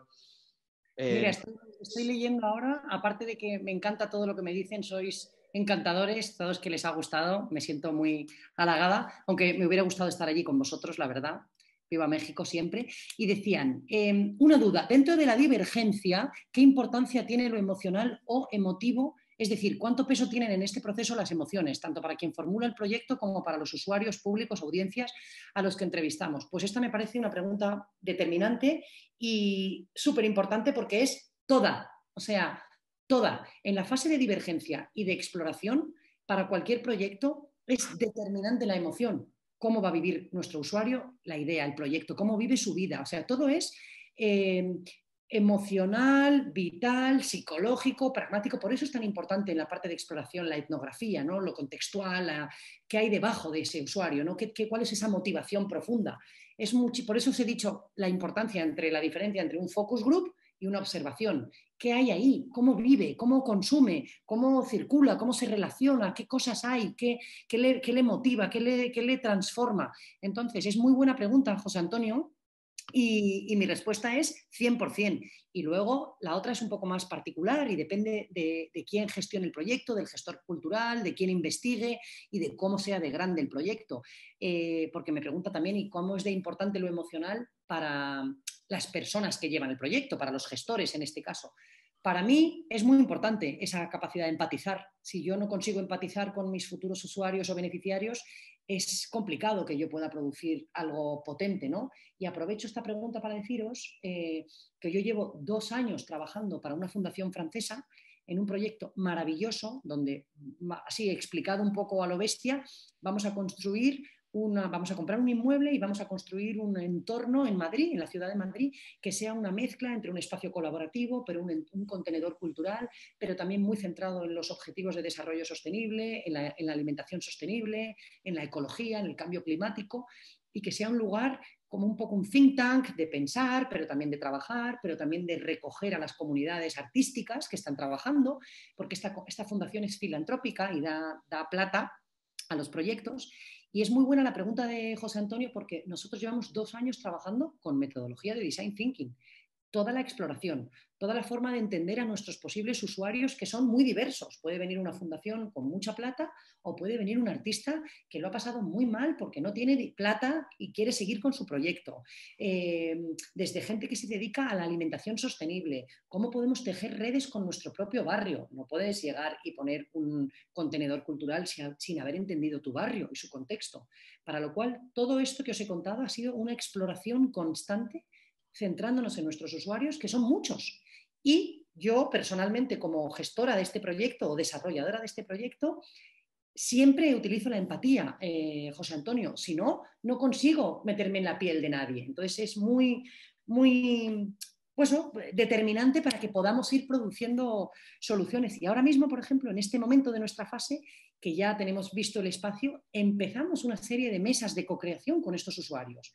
A ver si lo que nosotros hemos ideado es lo que ellos quieren y ellas. A ver si hay un match real entre nuestra propuesta y esto lo, he, discutido también mucho con Tomás, ¿no?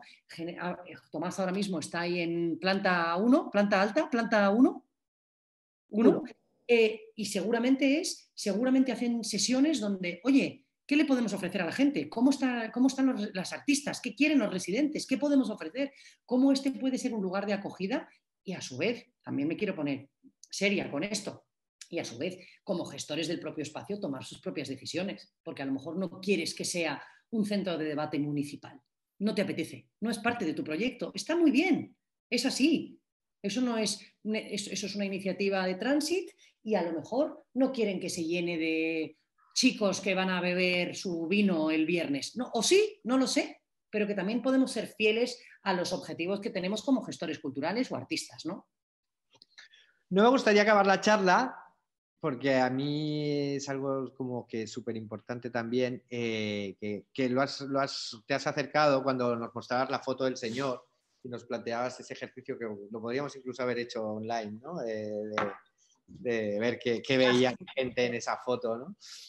Em, y quién era y qué.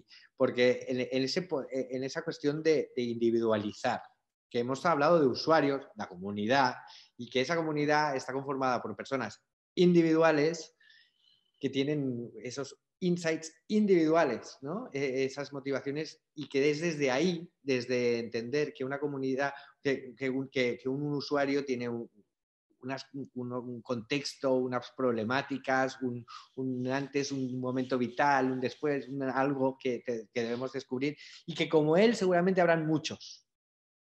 ¿no? Pero eh, olvidarnos también de, poner en la casilla de beneficiarios jóvenes, ¿no? Yo ya lo hablaba en la primera charla cuando se explicaba el design a lo bestia, el, ¿no? el, Business Model Canvas y pasábamos por la casilla de beneficiarios, ¿no? Tratar de hacer el ejercicio de individualizar a, quiénes son las personas, tres, cuatro personas que, formen parte de vuestro posible usuario, comunidad, participante, público, ¿no? Eh, empezar a pensar qué edad tiene, dónde vive, dónde está, cuánto dinero tiene el bolsillo. Eh, desde ahí, ¿no? Desde, no, de partir de, de, esas, de, esas personas y de esos contextos, de sus realidades, para crear eh, todos los procesos, ¿no? Desde cómo y la forma de los relacionaros y cómo encontraros y de crear para ellos, ¿no? Y ahí sí puedes enrollarte un poquito, Julia, porque tú... Claro, claro que sí. De, todos modos, Tomás, no, sin antes quería responder a dos que había, dos preguntitas, que era una sobre Joana desde Hermosillo, que dice una pregunta buenísima, y es, ¿un insight que se descubre con toda esta metodología podría traducirse en el core de la propuesta de valor? Absolutamente sí. Ahí está es, es, clave. O sea, cuando tú a través de un, proceso de esta índole, ¿no? Mm, de, investigación, de observación y de demás, descubres algo que, es una necesidad, necesidad, profunda de tus usuarios o de tu comunidad y que tú puedes transformar en una propuesta de valor, vamos, me parece, eh, eso sí que es un eureka, eso sí que es potente, ¿no? Eso es lo que querían, eso es lo que están necesitando, ¿no? Y, mm, perdona, otra más, Tomás, en el trabajo de una comunidad que dice Hilda, eh, el abanico de edades de los beneficiarios, cómo tejer redes entre la propia comunidad. Buf, esta es una pregunta muy buena, porque yo os estoy hablando del usuario, parece que estás haciendo una entrevista, pero hay veces que tienes que hacer, eh, tienes que diseccionar tu propia comunidad, que puede ser muy heterogénea y que es bueno que sea muy heterogénea. Pues uno de tus propios retos de trabajo ¿Os acordáis cuando os planteaba la pregunta cómo podríamos, como cualquier reto de diseño, es cómo podríamos tejer redes entre la propia comunidad? Esto ha pasado muchísimo, no sé, en vuestras zonas, barrios y demás. Aquí en, España, por ejemplo, en, Madrid, Tomás lo conoce muy bien, hay un proyecto del ayuntamiento que se llama Media Lab Prado, que es potentísimo, eh, público, gratuito, con un montón de contenidos, y hay una percepción por parte de la sociedad que es un sitio como que no invita a ir. Es demasiado, es demasiado de intelectuales, es demasiado de listos. Para mí, ahí tiene un reto de diseño, ¿no? Cómo tejer redes entre la propia comunidad cuando el efecto que está produciendo es contradictorio. Es un lugar que puede ser ciudadano, urbano, de debate, de discusión, y sin embargo la ciudadanía lo ve como un sitio con una prebarrera. Uy, yo no quiero ir aquí que es de gente demasiado inteligente o, o lista, ¿no? Para mí tendrían que hacer este reto, saber cómo podrían amalgamar estos espacios y tejer esta, esta unión entre las comunidades eh, de distintas edades, como decía Hilda, ¿no? o de los distintos beneficiarios o de los distintos deseos. A lo mejor en nuestro, estamos diseñando un centro cultural donde queremos invitar a, mis padres o a los jóvenes con los que están trabajando ustedes, ¿no? Y la diferencia entre la metodología, pregunta Juan, la diferencia entre la metodología Canvas de Design Thinking, pues yo creo que son metodologías distintas, pero confluyen. El Design Thinking nos da este marco este marco de cuestionamiento, de encontrar eh, eh, cómo empatizar con nuestros usuarios, cómo entender sus motivaciones profundas y demás, eh, cómo desarrollar lo que vamos a proponer. Y para mí, no sé si Tomás discrepa o no, una vez que tengamos todo este proceso, lo volcamos en el Business Model Canvas. El Business Model Canvas nos ayuda a aterrizar este modelo de sostenibilidad, que a su vez es una herramienta para volver atrás. ¿Os acordáis cuando os contaba que todo es iteración, el Business Model Canvas en un momento quizá un poquito más elevado del proceso nos ayuda a aterrizar conceptos. ¿Es la propuesta de valor buena? ¿Son estos los canales que necesito? ¿Son estos, estos son mis costes? O sea, eso quizá un poco más tangible, digamos. No sé cómo lo ves, Tomás. Aquí Luis lo dice bien, Luis Jaloma. Dice Design Thinking para crear la propuesta de valor en el Business Model Canvas y, y el Business Model Canvas para crear la propuesta de Design Thinking. O sea, el design thinking plantea nueve variables, los aliados, la propuesta de valor, los beneficiarios. Nosotros os planteábamos que empezaseis a dibujar vuestro business model canvas, porque ya sabéis con qué comunidades vais a trabajar, con qué aliados ya tenéis o os gustaría trabajar, qué propuesta de valor tenéis. Y lo que hemos hecho es reforzar en la clase, en las tres masterclass, la propuesta de valor y los beneficiarios. Pero aquí Julia nos planteaba repensar todo nuestro proyecto desde empezar por los, por los usuarios y por lo tanto os cambiará todo el design thinking. Cuando empecemos por, definiendo para quién quiero trabajar, Julia es de las que empieza trabajando por la casilla de beneficiarios. A mí me gusta pensar, creo que en cultura tenemos muy definida la propuesta de valor. Pero habrá, gente, habrá gente que dice, nosotros somos la alcaldía de tal ciudad queremos trabajar con, con esta empresa que, de tecnología y ya por lo tanto ya son dos alianzas que van a determinar el Business Model Canvas y todo el recorrido, ¿no? Y van a tener que diseñar para quién y quiénes serán sus usuarios. Entonces, digamos que el Business Model Canvas es el mapa desde donde vamos a trabajar y hoy nos centrábamos en, en que todas estas herramientas que nos ha compartido Julia era para entender ¿no? a esa comunidad, sea la que activa todo el proyecto o sea la que ya tenemos identificada y tenemos que, que acabar de, trabajar. Estoy muy de acuerdo con lo que has dicho, Tomás, y quiero, no quiero que os vayáis ninguno con la sensación de que yo lo que he dicho sienta cátedra. Para nada, depende del proyecto y depende de cómo cada grupo se eh, aproxime a un planteamiento de esta índole. A veces em, yo empiezo un proyecto con la propuesta de valor como eh, design thinking centrado en el usuario, otra vez, otras veces lo utilizo en otro momento para interpretar. O sea, a mí me gusta que vosotros tengáis capacidad crítica, que con todas estas herramientas utilicéis submetodologías que os puedan servir. No creo que esto sea dogma, en absoluto creo que vaya a misa. Me parece súper interesante lo que ha dicho Tomás. Muchas veces en cultura tenemos muy clara nuestra propuesta de valor, clarísima. Entonces, eh, a lo mejor simplemente hay que extraer de aquí, voy a mejorar mi propuesta de valor o cómo puedo mejorar eh, mis canales, qué tipo de público vendría, y es otro tipo de forma de interpretar el design thinking. Por eso os invito a que cotilleéis un poco en todas estas herramientas que hay cientos de miles, que las entrevistas sean buenas, que la observación sea buena, pero no solo y exclusivamente para la propuesta de valor, aunque, respondiendo a la pregunta que me hacíais antes, para determinar una, propuesta, una buena propuesta de valor a mí me ha cambiado la vida eh, entender la empatía y el design thinking. He conseguido meterme en la piel de muchos usuarios para los que yo estaba produciendo servicios o productos o contenidos. Y ha sido como, wow, eh, eh, gracias a meterme en su piel lo he entendido. Y Tomás, perdóname, pero recuérdame la pregunta que me habías hecho. Se me ha olvidado. A mí también. no, mentiras.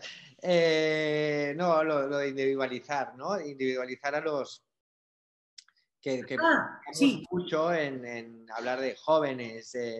sí, eso es, eso, es eso es una de las herramientas que se utiliza mucho, insisto, dependiendo del proyecto que tengas, ¿no?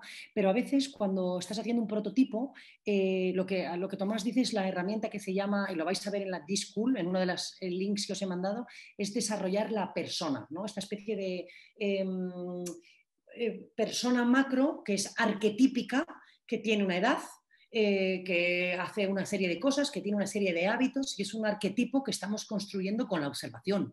Imaginaos, por ejemplo, que queremos crear, yo que sé, que nos contratan todos y nos vamos a trabajar a Sudáfrica eh, para mejorar el saneamiento de un barrio, yo que sé.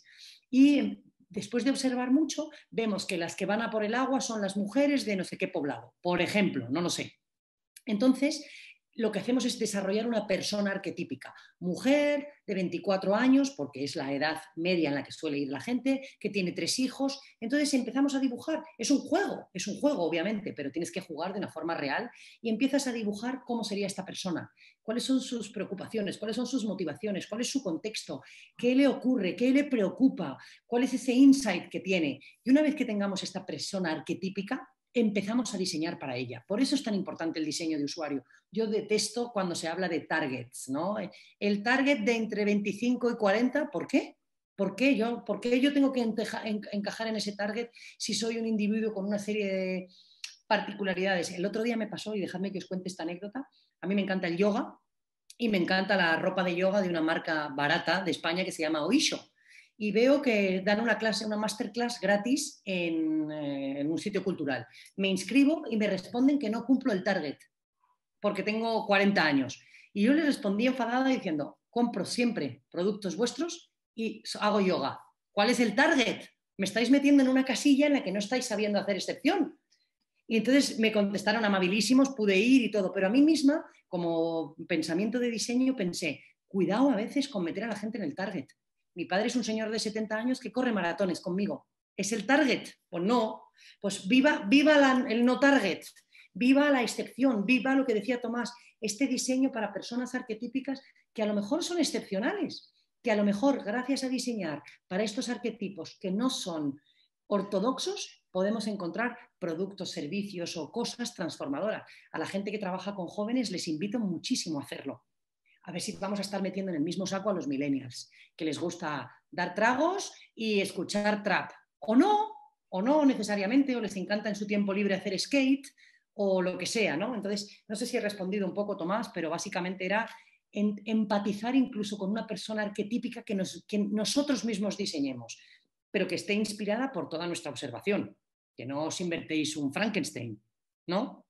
Una, Pues esperemos que podamos empatizar mucho en, a partir de ahora y que podamos, volvamos a encontrarnos, a mirarnos a los ojitos, a tocarnos, a, charlar y, vernos muy pronto.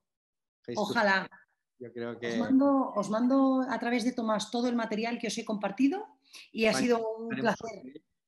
Perdón. Haremos un email con, a, todos con todo el material que me va a mandar Julia y haremos un refresco y os mandaré el vídeo de la charla eh, a todos. Por favor, inscribiros en www.bajoradar.org los que se estéis sumando eh, en esta charla al programa. Hay muchas actividades, haremos entornos colaborativos donde esperamos poder encontrarnos de una manera y donde vosotros seáis los protagonistas más adelante. Y seguimos. Eh, Julia, muchísimas gracias. Se nota que estás feliz y tu energía, como siempre, súper bonita. Un placer, un placer, muchísimas gracias y seguimos en contacto. Cuídense, cuídense mucho.